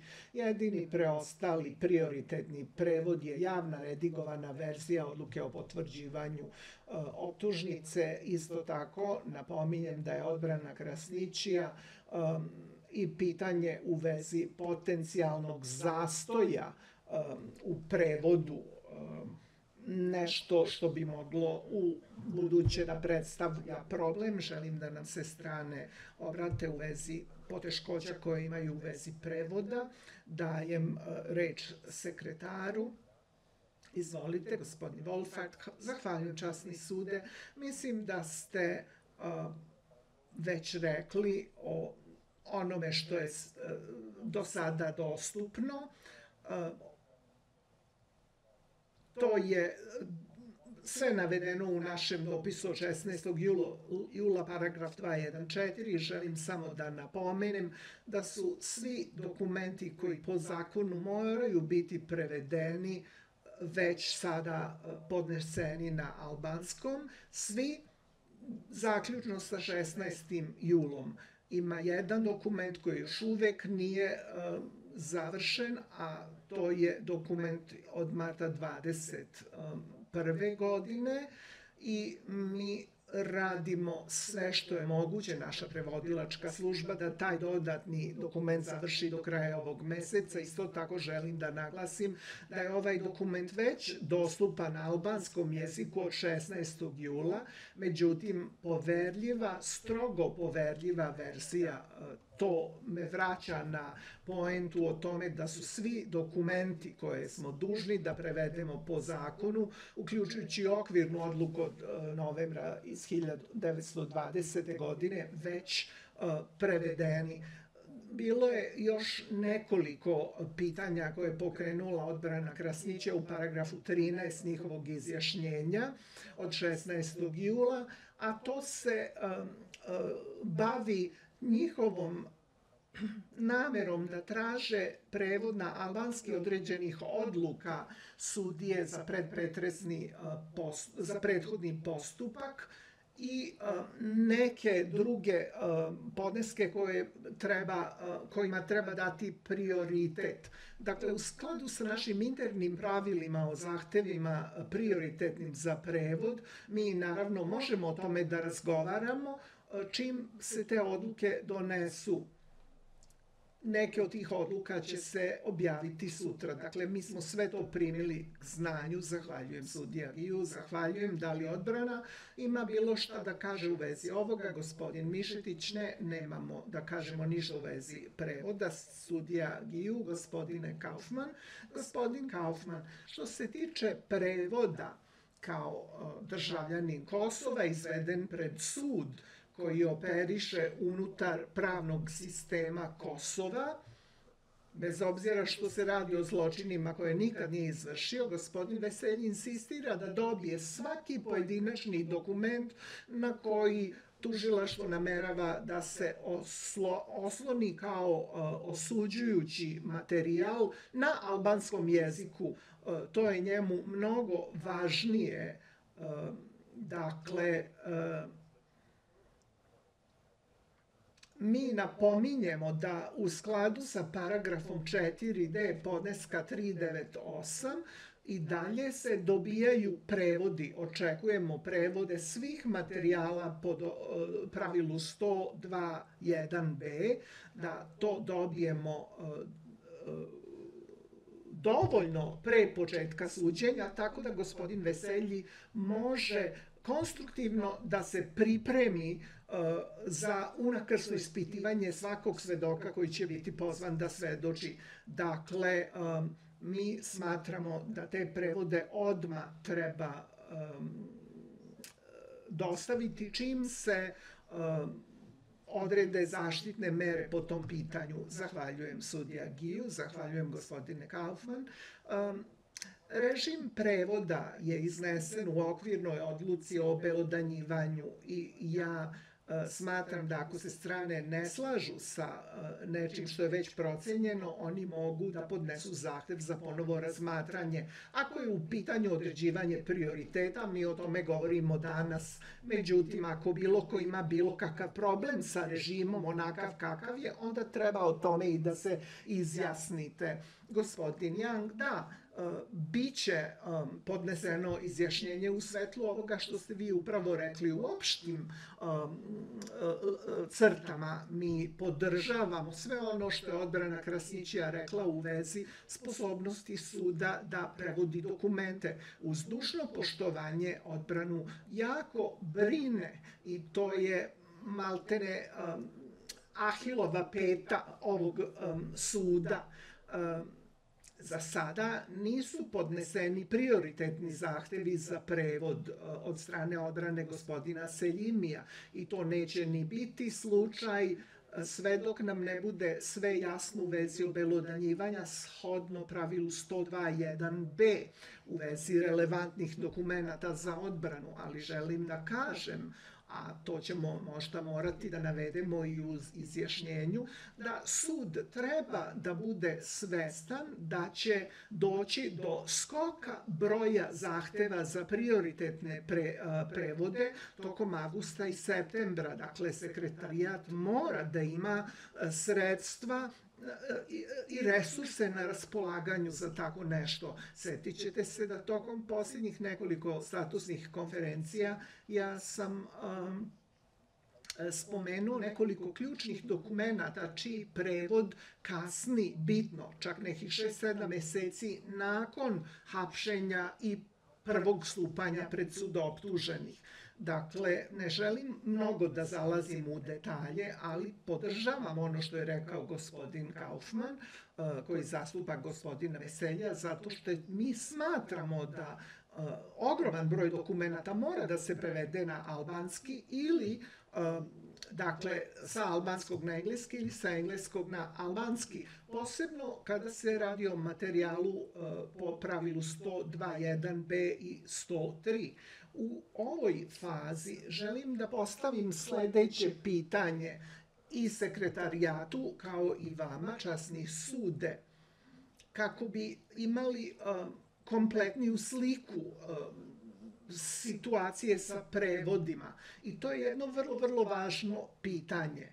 Dakle, ako sekretarijat ima dostupne te informacije, jako bi nam pomoglo da znamo, barem okvirno, koji procenat obelodanjenog materijala po 102.1b i 103 jeste preveden sa albanskog na engleski ili engleskog na albanski, zato što mi mislimo da ima jako puno materijala, važnog materijala, koji jednostavno nije preveden. Sudija Giju, zahvaljujem, pre nego što dam reč sekretarijatu, želim da dam reč odbrani Krasnići, gospođo Alagendra, gospodin Elis, izvolite, gospodin Elis, mi se pridružujemo ovome što su rekle druge odbrane i mi smo već e, dali pismeno izjašnjenje o tome, sudija Giju, zahvaljujem gospodine Elis, da dam reč sada gospodinu Lozu, da li on ima nešto da kaže u vezi toga, gospodin Loz, hvala, časni sude, ne, nemam o tome ništa da kažem, sudija Giju, zahvaljujem gospodine Loz, sekretaru dajem reč u vezi pitanja gospodina Janga. Šta nam možete reći još više o prevođenju? Sekretar, ja Zahvaljujem gospodinu Jangu na tome. Mi nemamo te brojke na raspolaganju, ali je to nešto što ćemo vrlo brzo da e, dobijemo i mi ćemo vas o tome obavestiti. Sudija Giju, zahvaljujem sekretarijatu, sekretaru, mi to primamo znanju. Da li tužilaštvo ima bilo šta da kaže u vezi toga? Tužilaštvo? Ne, časni sude. Mi uh, radimo u skladu sa prethodnom odlukom um, vašom i relevantnim odredbama pravilnika u vezi jezika uh, za obelodanjivanje. Zahvaljujem sudjegiju, zahvaljujem um, uh, tužiocu. Da li bilo koji iz odbrane želi još nešto da kaže u vezi ovoga? U redu, vidim da niko nema ništa da kaže o ovom pitanju. U redu, mi sada idemo na pauzu od 20 do 25 minuta i nastavit ćemo u 4.30. Sada prekidamo raspravu. Molim, ustanite.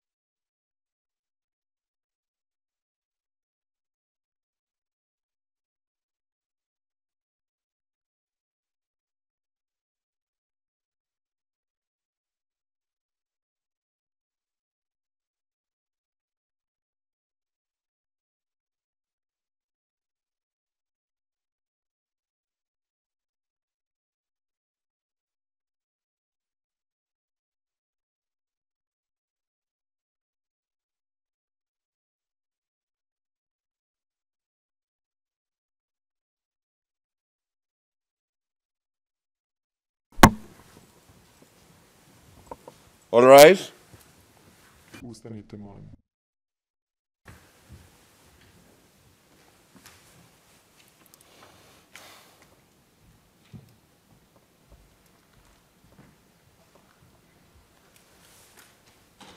Please be seated. Volite sesti.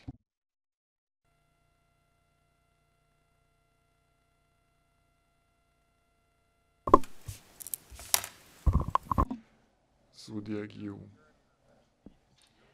Sada ću se obratiti tužilaštvu. Interesuje me status istraga u toku.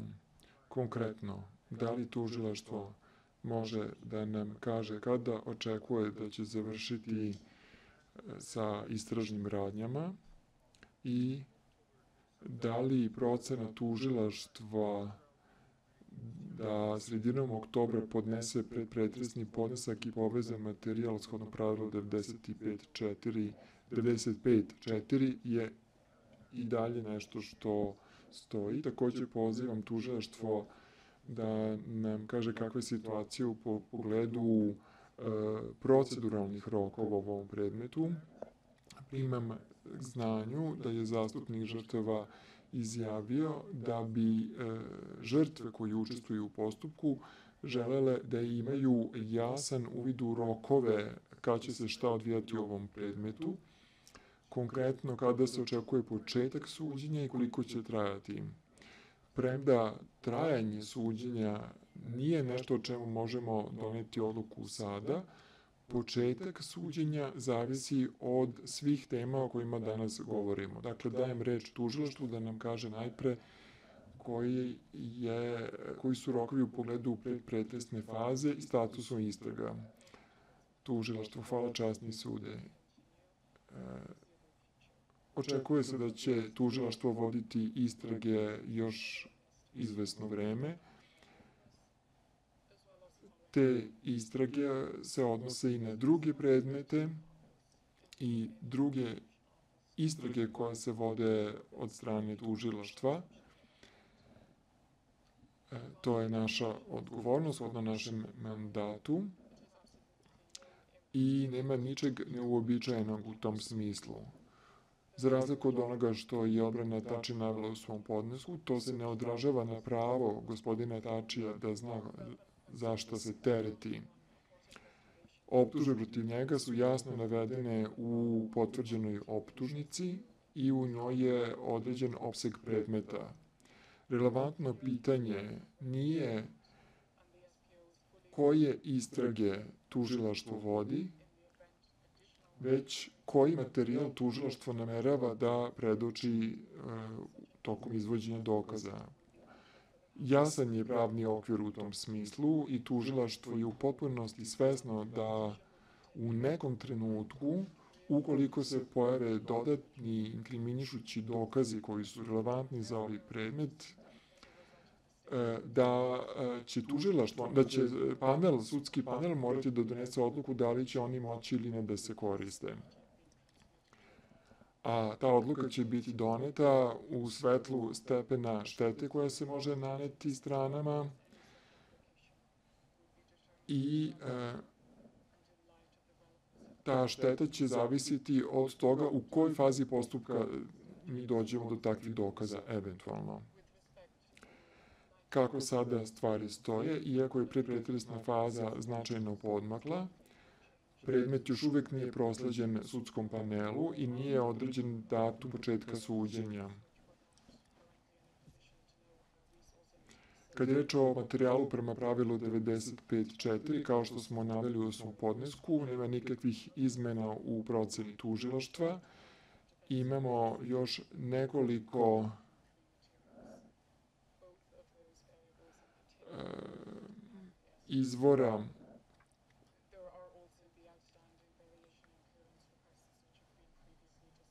i preliminarnih podnesaka o kojima će morati da se vodi e, rasprava e, u smislu zahteva koje će odbrana eventualno podneti ili reč o materijalu prema pravilu 102.3.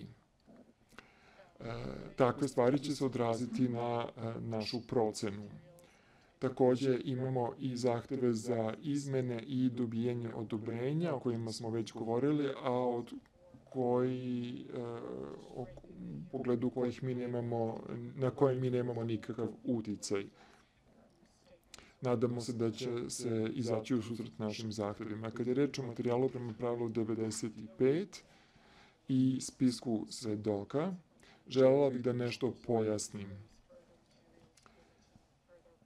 Jasno je da imamo mali broj svedoka na čije izjave se pozivamo u optužnici kao propratni materijal, a koje tužiloštvo ne namerava da pozove da svedoče. Stoga mi nismo obelodanili dodatni materijal koji se tiče tih ranijih izjava svedoka u materijalu prema pravilu 102.1b. I mi ćemo vrlo rado odbrani navesti koji su to svedoci. Preostali obelodani materijal su svedoci e, na čije će se iskaz e, tužilaštvo osloniti tokom izvođenja dokaza i to se tiče materijala koji je oblodanjen prema pravilu 102.1b. Kad je reč o pitanju zastupnika žrtava u pogledu datuma početka suđenja, mi smo o tome već e, govorili. Zahtev tužilaštva je da se počne sa suđenjem tri meseca nakon što se dostavi materijal prema pravilu 95.4 i to je u skladu sa praksom sa drugih e, sudova. I to je upravo rok koji je bio utvrđen u predmetu Jekatom na koji se poziva odbrana Tači. Strani, strane u postupku su iznale različite stavove u pogledu ovog pitanja, sve je to već u svisu predmeta bilo u podnescima, bilo u zapisniku sa ranijih statusnih konferencija. Međutim, na vama je časni sude da donesete odluku budući da vi vodite predpretresnu fazu postupka i kasnije, naravno, u sudskom panelu koji će voditi predmetkom, koji će mu biti prosleđen.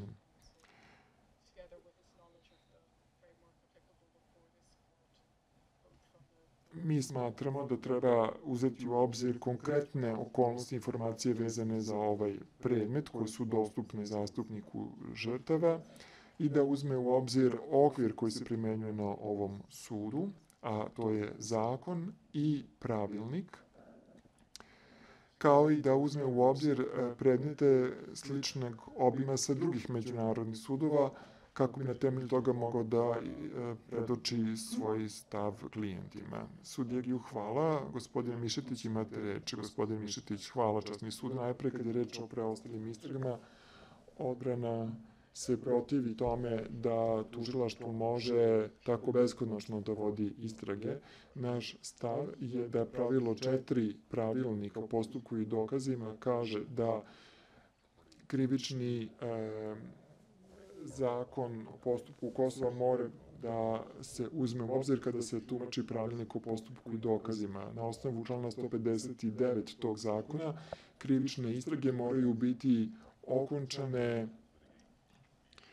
e, u roku dve i po godine nakon što su započete. Ne znam da li je ova statusna konferencija pravo mesto da o tome govorimo, ali mi sada stavljamo na znanje tužilaštvu koji je naš stav i da ćemo se protiviti dostavljanju dodatnog materijala, pozivajući se na kako pravilnik o postupku i dokazima ovog suda, tako i na e, e, zakon o krivičnom postupku Kosova. Sledeća tačka. Tužilaštvo kaže da nema izmena kad je reč o e, obelodanjivanju materijala prema pravilu 95.4, ali jasno je da sa velikim rezervama moramo uzeti tu uh, izjavu, jer je to neobavezivanje s njihove strane da taj materijal ostave u oktobru kako je sada predviđeno. Naši klijenti su u pritvoru i mi ne možemo E, izdvojiti koliko god želimo vremena i onda pomerati rokove, a da optuženi u ovom predmetu i dalje trpe štetu budući da su u pritvoru. Stoga smatramo da je važno da se e, tužilaštvo pridržava postojećih rokova i da nema mogućnost da kasnije kaže pa nismo ob, nismo obećali da ćemo ispuniti obaveze prema pravilu 95.4 e, do roka koji je sada u oktobru.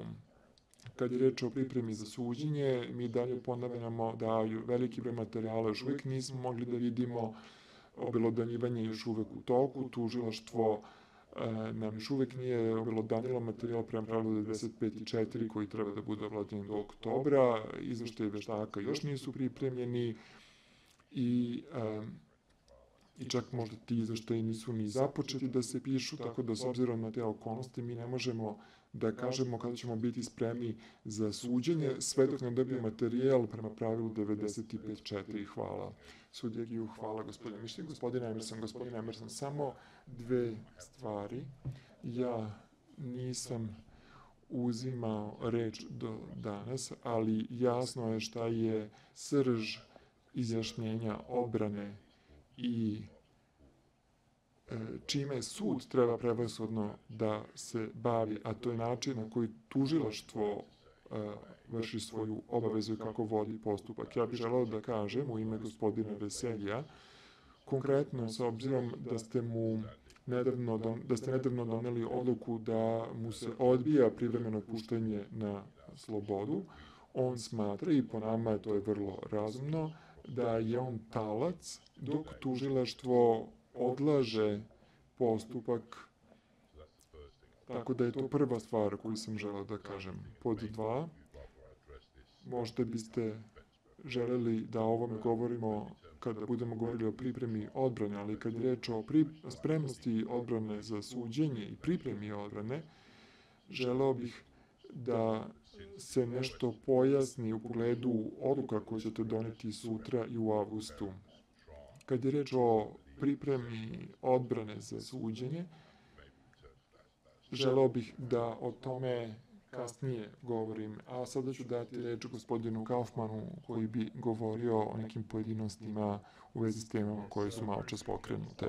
Gospodin Kaufman, vrlo kratko, moguće da će tužilaštvo želeti da nastavi sa istragama a, i kasnije beskonačno ali e, predočiti inkriminišuće dokaze nakon roka za obelodanjivanje takvih dokaza je nešto što može da se učini samo uz odobrenje suda, a znate da će se odbran na tome strogo protiviti. Hvala sudja Giu. Hvala gospodin Kaufman, gospodin Young, gospodin Young, ništa nema da dodam osim što podržavam izjašnjenje gospodina Tačije, gospodina Veselja. Sudja Giu, hvala, gospođa Alagendra, gospođa Alagendra, isto tako časni sude, mi podržavamo izjašnjenja timova odbrane gospodina Tačija i gospodina Veselja. Sudje Giju, hvala, gospođo Alagendra. Da li tužilaštvo želi da odgovori?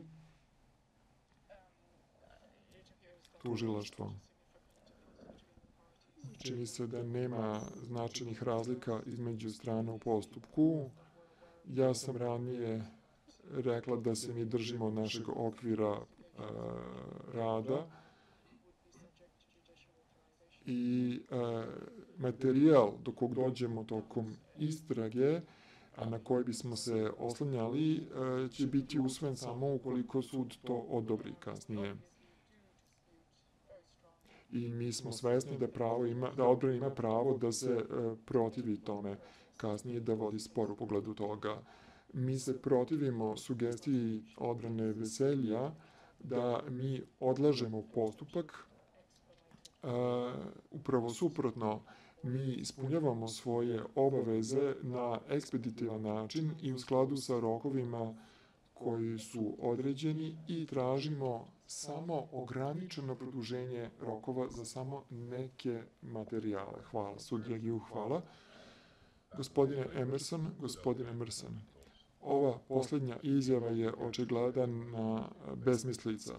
Tužilaštvo je počelo ovaj predmet rečima da će biti spremno za suđenje danas, a činjenica da sada govore o tome da suđenje neće biti spremno za, e, za, za neće biti spremno za suđenje u ovoj godini. Ja sam vrlo spreman da čujem izjašnjenja koja su zasnovane na istini, ali ovo očigledno nije bilo istinito izjašnjenje. Sudija Giju, hvala gospodine Emerson, vidim da nijedan drugi tim odbrane ne, traži reč. Gospodine Loz, da li želite nešto da dodate u vezi sa ovom temom? Gospodin Loz, ne, hvala. Ja sam pokrenuo ova pitanja zato što su one meni upućene od strane žrtava koji učestvuju u postupku. Saslušao sam šta je rečeno i da budem iskren, nisam dobio odgovor na zadovoljavajući način. Ali ja to ne kažem kao kako bih uputio kritiku. Svestan sam da je teško sagledati situaciju na isti način kao e, žrtve koje učestvuju u postupku. Neću dalje insistirati na, na ovome, ali se nadam da su strane u postupku svesne koji je legitiman interes žrtava koje žele da e, znaju kada će se ovaj postupak voditi. Ali neću dalje insistirati na tome. To je svakako pitanje o kojem ćemo morati kasnije da govorimo na nekoj kasnijoj statusnoj konferenciji. Sudja Giju, hvala gospodine Loz. Pređimo onda na sledeću tačku dnevnog reda, koja se tiče istraga odbrane. Interesuje me da mi timovi odbrane kažu da li na temelju procena tužilaštva i sadašnjeg e, postupka obelodanjivanja dokumenta i dokaza da li može odbrana da nam da neke dodatne informacije u pogledu statusa svojih istraga, da li odbrana može da dostavi informacije u pogledu toga da li će tražiti, podneti zahtev za jedinstvene istražne radnje i da li odbrana može da dostavi informaciju u pogledu namere da e, će se neki optuženi braniti alibijem ili da postoje osnovi za oslobađanje krivične odgovornosti. U tom smislu primam znanju izjašnjenja odbrane gospodina Tačije i gospodina Krasnićija, E, koji kažu da su istrage e, odbrane otežane zbog e, tekuće pandemije, velikih obsežnih redakcija koje primenjuje tužilaštvo na svoj materijal i primenjenih zaštitnih mera. Takođe bih želeo da čujem više informacija od sekretarijata kad je reč o službi za zaštitu svedoka o kojima se govori, o čemu se govori u izjašnjenju odbrane gospodine Tače. Izvolite, gospodine Mišetić. Gospodine Mišetić, hvala časni sude. Vi ste tačno prikazali naš e, stav iznad u podnesku. U ovom trenutku mi ne bismo iznosili bilo kakve stavove u pogledu alibija ili jedinstvenih istražnih radnji. Mi zadržavamo pravo da to učinimo nakon što dobijemo materijal po pravilu 95.4 i nimam ništa tome da dodam. Hvala. Sudija Giju. Samo nešto. U svom podnesku navodite da očekujete da služba za zaštitu i pružanje podrške svedokama sekretarijata iznese svoj stav, da li ste u kontaktu sa sekretarijatom s tim u vezu ili niste uspeli da dobijete ništa od te službe za sada.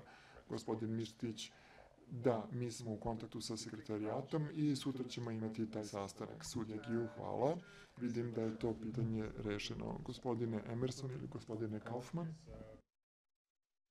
Da, časni sude, kao što smo spomenuli u izjašnjenju 315 u spisu, odbrana Veselji ne može da počne smislenu istragu sve dok se ne završi kompletno obelodanjivanje od strane tužilaštva i dok se sva pitanja nadležnosti i ustavnosti u kontekstu pravila 97 1 iz preliminarnih podnosaka ne reše i dok se ne um, završe sve um, mogućnosti za žalbu. Odbrana veselja ne može da uh, odredi resurse na adekvatan način ako ne zna um, tačno o kakvim se optužujućim dokazima radi i ako ne zna protiv kog vida odgovornosti treba da se brani.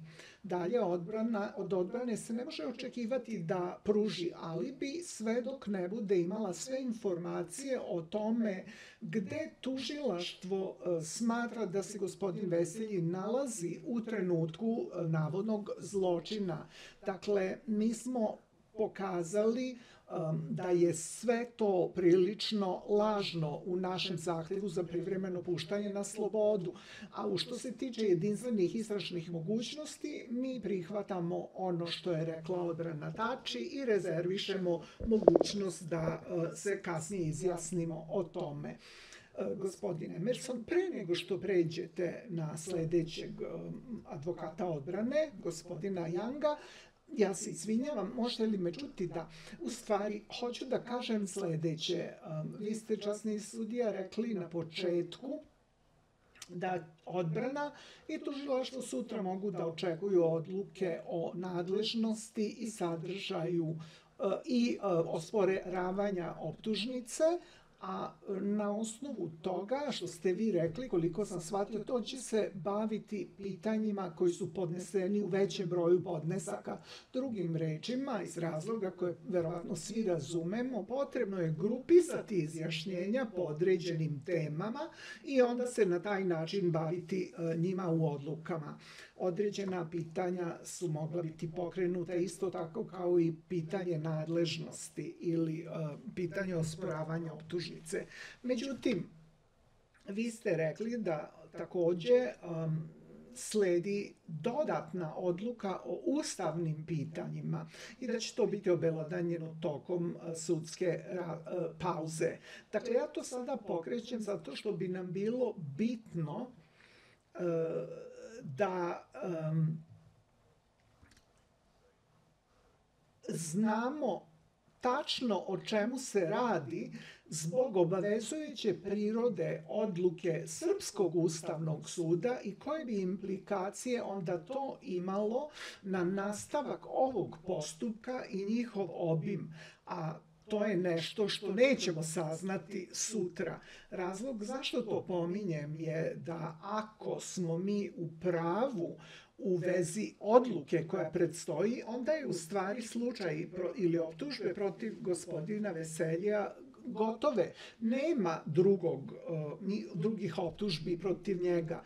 Tužila što je efektivno reklo otvoreno je reklo da nema dokaza protiv njega o izvršenju ili sa izvršenju ili pomaganju ili na drugom način učestvovanju bilo kojim zločinima koji se spominju u optužnici. Dakle, to je formalno izneseno napismeno. Dakle, ako odluka Srpskog ustavnog suda koja se odnosi na ove učesnike u istom sporu, u istom sukobu u Srbiji, se na isti način pravično i jednako primeni na albanske učesnike, onda to može da e, znači da će se gospodin Veselji vratiti u Prištinu e, valjano oslobođen i da će kao nevin biti ona pušten. Dakle, razlog zašto ja to pitam je da u stvari postoje dve odluke, pa će onda još jedna treća biti uh, objavljena koja se takođe bavi ustavnim pitanjima, a to je nešto što ima veze i sa osporavanjem nadležnosti. Želim samo da razjasnite da li postoji diskriminacija, to je jedno pravilo za Srbe, a drugo za Albance i da li će vi, ćete vi o tome sutra odlučivati sudija Giju. Gospodine Emerson, ja neću uh, o bilo čemu napred da um, odlučujem danas i neću da danas najavim šta će biti u odluci. Dakle, vidjet ćete odluku sutra. Ne želim da komentarišem odluku koju još nisam ni potpisao. Gospodin Emerson, da, ali da li možete onda da nam kažete kakva je ustavna odluka u tom predmetu, ta do koje neće doći do avgusta sudjegiju. Ne, to je to. Vidjet ćete kako uh, šta će biti u odluci. Sada dajem reč gospodinu Jangu. Gospodin Jang, zahvaljujem časni sude, ukratko. Vrlo je teško um, da dobijemo dodatne informacije u ovoj fazi. Ne mogu da komentarišem o pitanju alibija i o jedinstvenim istražnim a, mogućnostima, a, već kao što je rečeno, sposobnost odbrane da vrši istrage a, veoma podrivaju te a, ekstenzivne zaštitne mere redakcije i to što još uvek nemamo predpretresni podnesak i vrlo neodređenu pri, prirodu teze tužilaš pre, o predmetu tužilaštva. Dakle, da stavimo to u nekakav kontekst, što se tiče gospodina Seljimija, mislimo da ima vrlo, vrlo mali broj ličnih optužbi protiv njega, a pošto nema zajedničkog zločinačkog poduhvata, mi smatramo da to uopšte nije ni u nadležnosti ovog suda. Sudija Giju, zahvaljujem gospodine Jan, gospođa Lagendra, gospođa Lagendra, da mi stojimo pri onome što smo rekli u paragrafu 14 našeg podneska sudija Giju, zahvaljujem gospođa Lagendra. Tužilaštvo dajem reč šta vi imate o tome da kažete. Tužilac, što se tiče istinitih i tačnih izjašnjenja, izjave koje je e, dao gospodin Emerson e, očigledno nisu tačne. Tužilaštvo nije ništa u tom smislu priznalo optužbe i vid odgovornosti naveden u optužnici je ono iza čega mi stojimo. Jedino što je tužilaštvo reklo uh, je u vezi činjeničnih pitanja da direktno počinjenje nije jedan od vidova uh, odgovornosti za koju se tereti. To je jedina indikacija koju je tužilaštvo dalo i to je činjenično pitanje koje se odražava i u optužnici. Kao što je odbrani poznato, pred pretresni uh, postupak je daleko odmakao, Belodanjivanje preostalih materijala će e, manje više biti gotovo ove nedelje i sada je na odbrani da e, se pobrinu da oni i e, obavljaju svoje istrage. Već sam rekla da odbrana pogrešno spominje istrage tužilaštva kao nešto što ometa njihove istrage.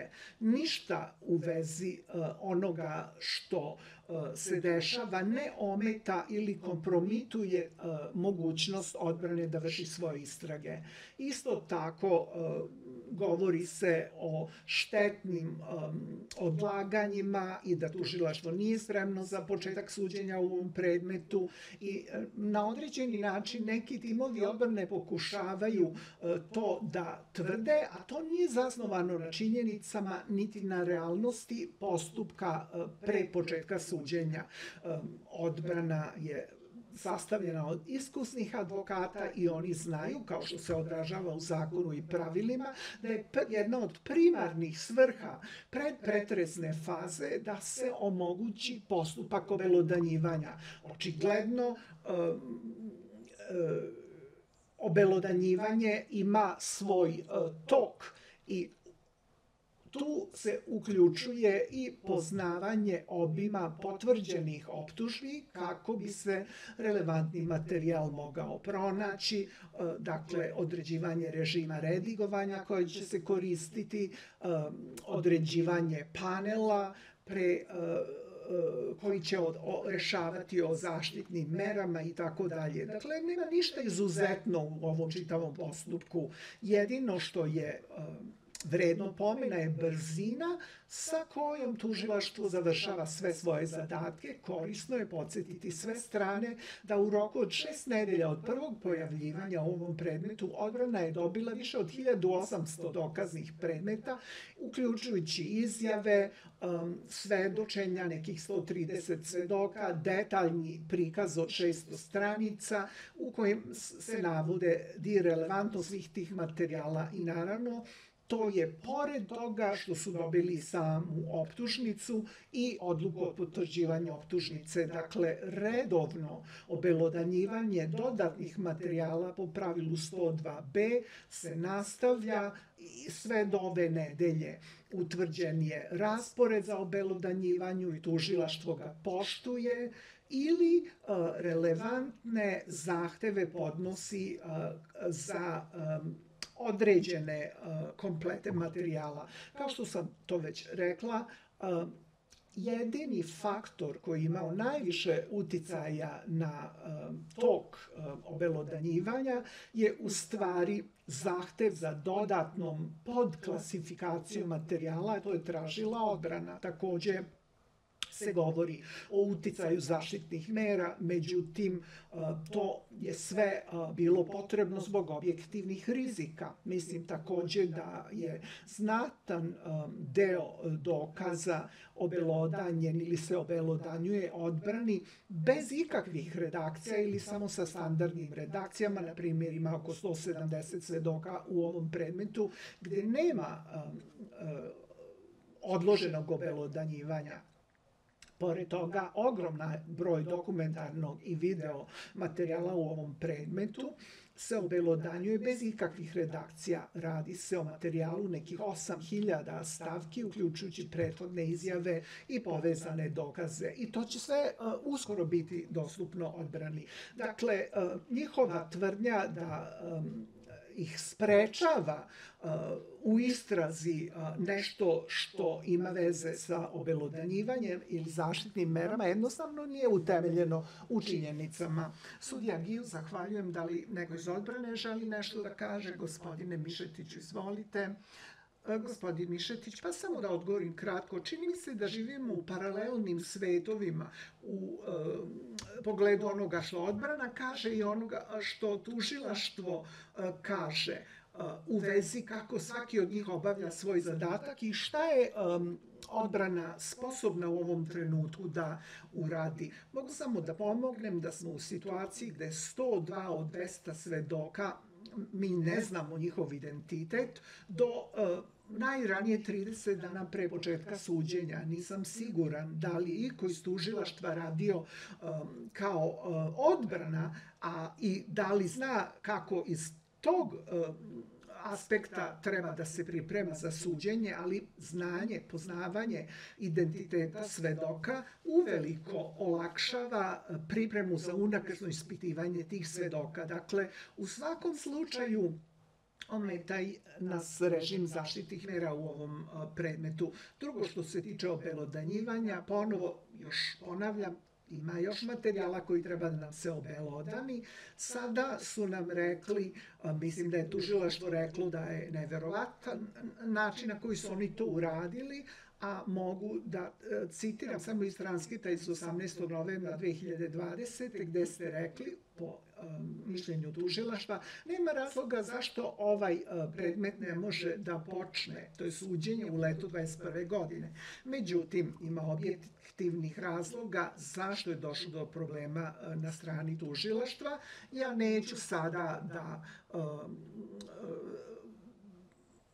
govorim bilo šta negativno o objektivnim poteškoćama koje su imali da bi ispunili taj rok, ali u svakom slučaju prikazivati situaciju sada mislim da iskrivljuje ono što se stvarno dešava u ovom predmetu. Mi sada nismo započeli suđenje jer tužilaštvo nije obelodanilo sve materijale, još uvek um, oni uh, stavljaju uslove da uh, predoče sav materijal po 95.4 uh, u oktobru, zato još uvek nisu su sigurni da li mogu da ispune sve rokove. Dakle, rekao bih da nije fair reći odbrani da su savršeno u mogućnosti da budu spremni za suđenje, iako čak nismo spremni ni da počnemo rad na pred pretresnom podnesku. Naravno, taj dokument će nas prilično praktično usmeravati u vezi naše pripreme za suđenje. Dakle, zahvaljujem časni sude sudija Giju, zahvaljujem gospodine Miš, Mišetiću.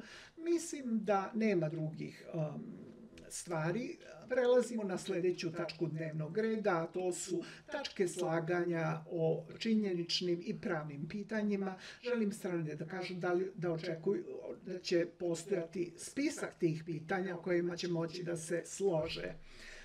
Mislim da je odbrana gospodina Krasnićija postigla dogovor o četiri tačke um, u vezi lične biografije gospodina Krasnićija. A e, odbrana Tači je rekla da će o tome komentarisati nakon što dobije predpretresni podnesak tužilaštva. Molim tužioca da nam nešto kaže o ovome. Časni sude, nemam ništa da dodam. U svakom slučaju odbrana Krasnići je se složila oko četiri činjenična pitanja u vezi biografije i potvrdili su da će dalje razmatrati preostale činjenice.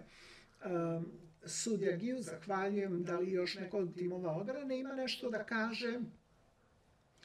Gospodin Emerson, časni sude u ime odbrane gospodina Veselja, mi smo vrlo jasno izneli naš stav na samom početku.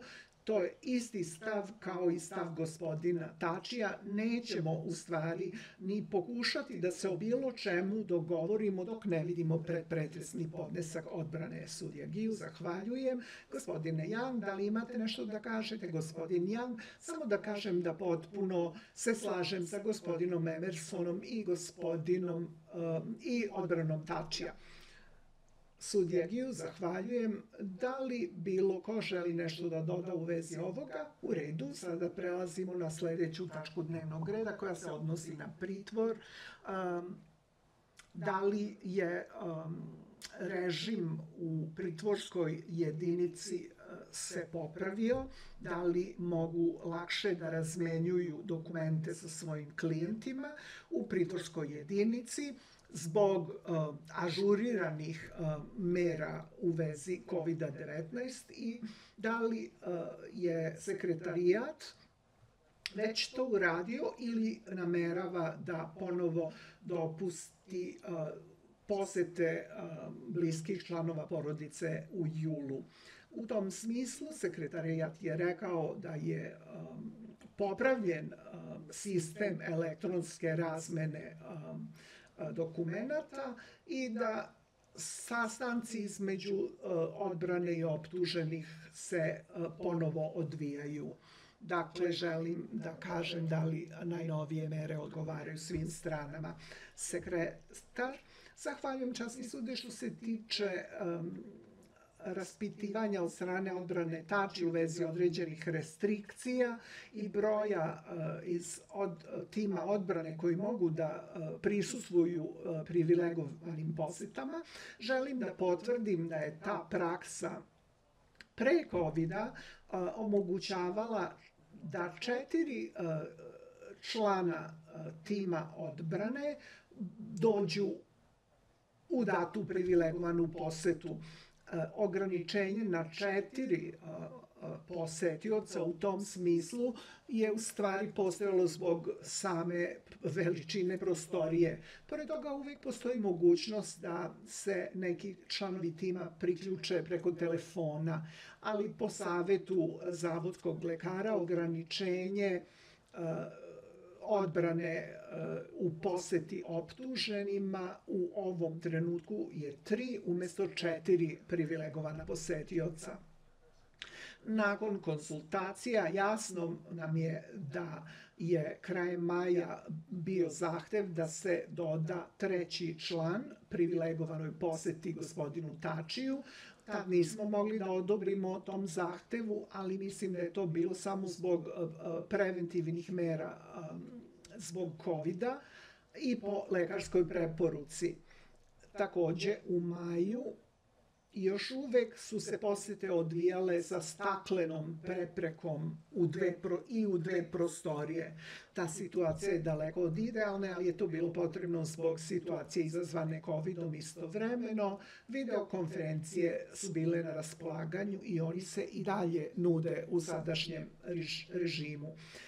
A sadašnji sistem od jula sada mogu odbrana i optuženi da se sastaju u istoj prostoriji, samo sa preprekom od pleksiglasa i uveden je novi sistem da bi imali ideju te pre, pregrade od pleksiglasa su slične onima kao i u ovoj sudnici. Želim da naglasim da je uvek bilo moguće e, da kada e, zastupnik odbrane lično poseti optuženog, može fizički da mu dostavi e, primerke kopije dokumenata.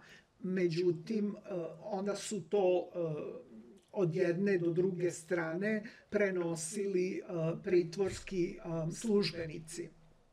Od jula pravni timovi mogu sada da razmenjuju štampane dokumente, direktno, jer sada se sastaju lično sa svojim klijentom. Isto tako SED sistem, server je uveden u martu 21. koji omogućuje digita, razmenu digitalnu dokumenta između odbrane i optuženih, to je nešto što su svi pozdravili, to koriste timovi odbrane i mislim da tu nema nikakvih problema. Bilo je nekakvih u početku problema sa pristupom, ali to je sad sve rešeno.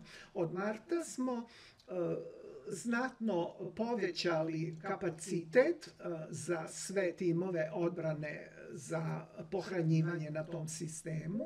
To takođe dobro funkcioniše. Trenutno želimo da dodamo još tog kapaciteta kada to bude potrebno. Isto tako ste pitali za porodične posete i ja e, mogu da kažem da zbog popuštanja mera e, zbog COVID-19 lične posete porodice se sada ponovo dopuštaju i mislim da su danas svi uputili zahtev da ih poseti od porodica.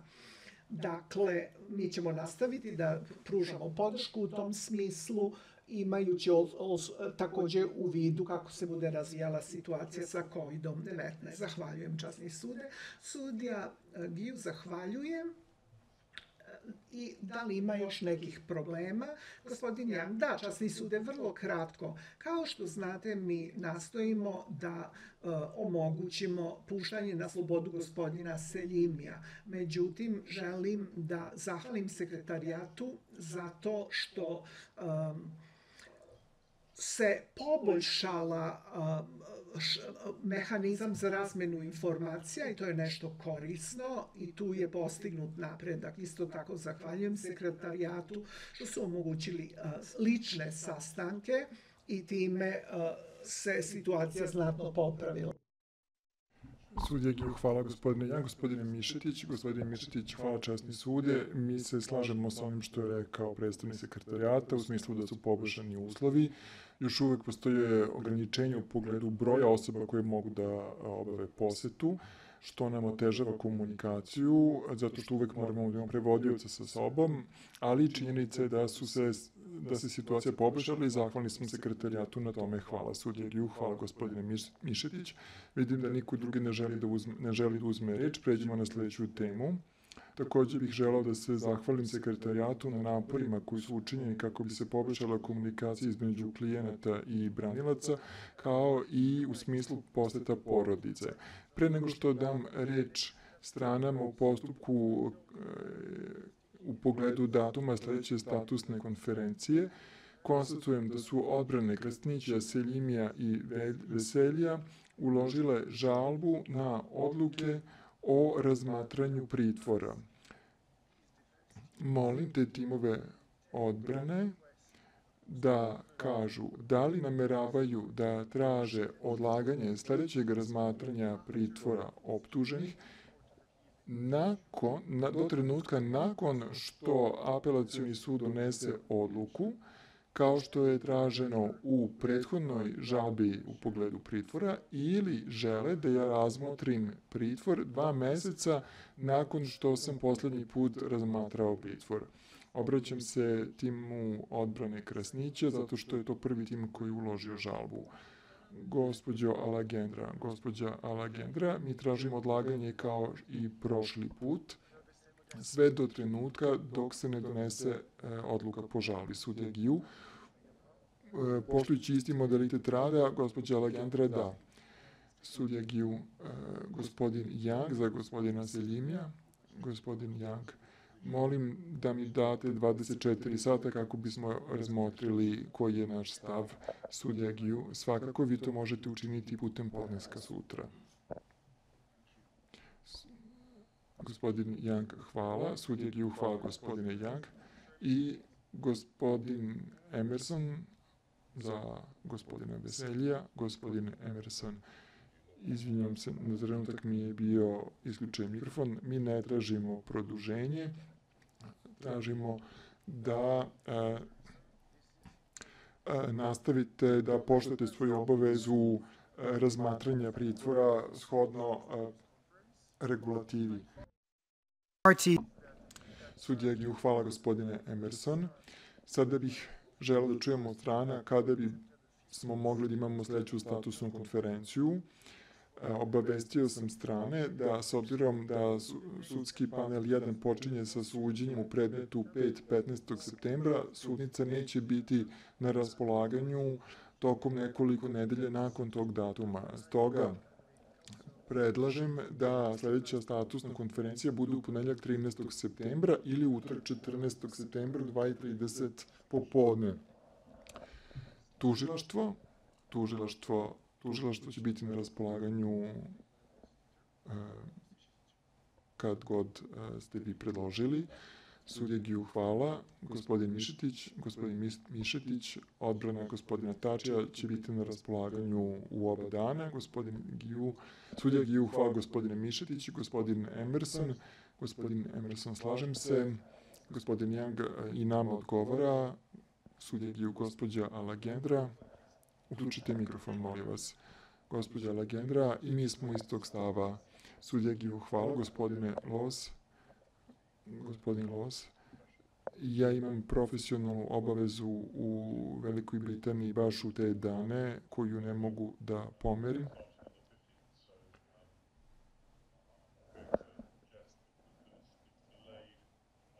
Ne bih tražio da to bude nakon 14. Potrudit ću se da izađemo u susret sudu. Sudjegiju, hvala gospodine Lawson. E, Loz, pretpostavljam da ni sekretarijat nema problema da imamo statusnu u te dane. Kao i obično pozivam strane da podnesu podneske ukoliko imaju neke teme kojima žele da govorimo na statusnoj konferenciji i dobit ćete blagovremeno nalog o rasporedu i dnevni red. Sada bih pitao strane da li žele da ukažu na neko eventualno pitanje i kao obično želim da podsjetim strane da nas obaveste ukoliko ću u svom izlaganju obelodanici poverljive informacije. Tužilaštvo?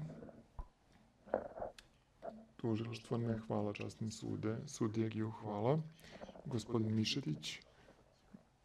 Gospodin Miš- Mišetić, nemamo ništa. Sudija Giju hvala. Gospodin Emerson? Gospodin Emerson, nemam ništa da dodam. Sudija Giju, gospodin Young? Gospodin Young, ne hvala. Sudija Giju, gospođa Lagendra? Gospođa Lagendra, ništa. Časni sude, hvala. Sudija Giju, hvala gospođa Lagendra. Gospodin Loz? Gospodin Loz, ništa hvala. Časni sude, sudija Giju, hvala gospodine Loz. Pre nego što završimo današnji pretres, imam dva usmena naloga. Prvi nalog tiče se roka tužilaštva za pravilo, materije po pravilu 102.1b sa obzirom na zahteve za redakcije i čekanje odobrenja i kašnjenja zbog e, vešta, izveštaja veštaka.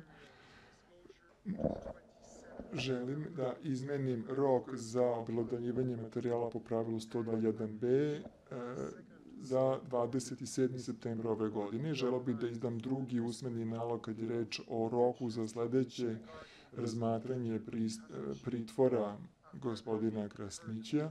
Nakon što sam saslušao strane u postupku, nalažem odbrani gospodina Krasnića da dostavi izjašnjenje o tome da li i dalje postoje razlozi za dalji pritvor 10 dana nakon što dobiva veštenje o odluci apelacijonog suda u pogledu žalbe koja je uložena na odluku sudije za pretvorni postupak kojom je e, odbijeno privremeno puštenje na slobodu.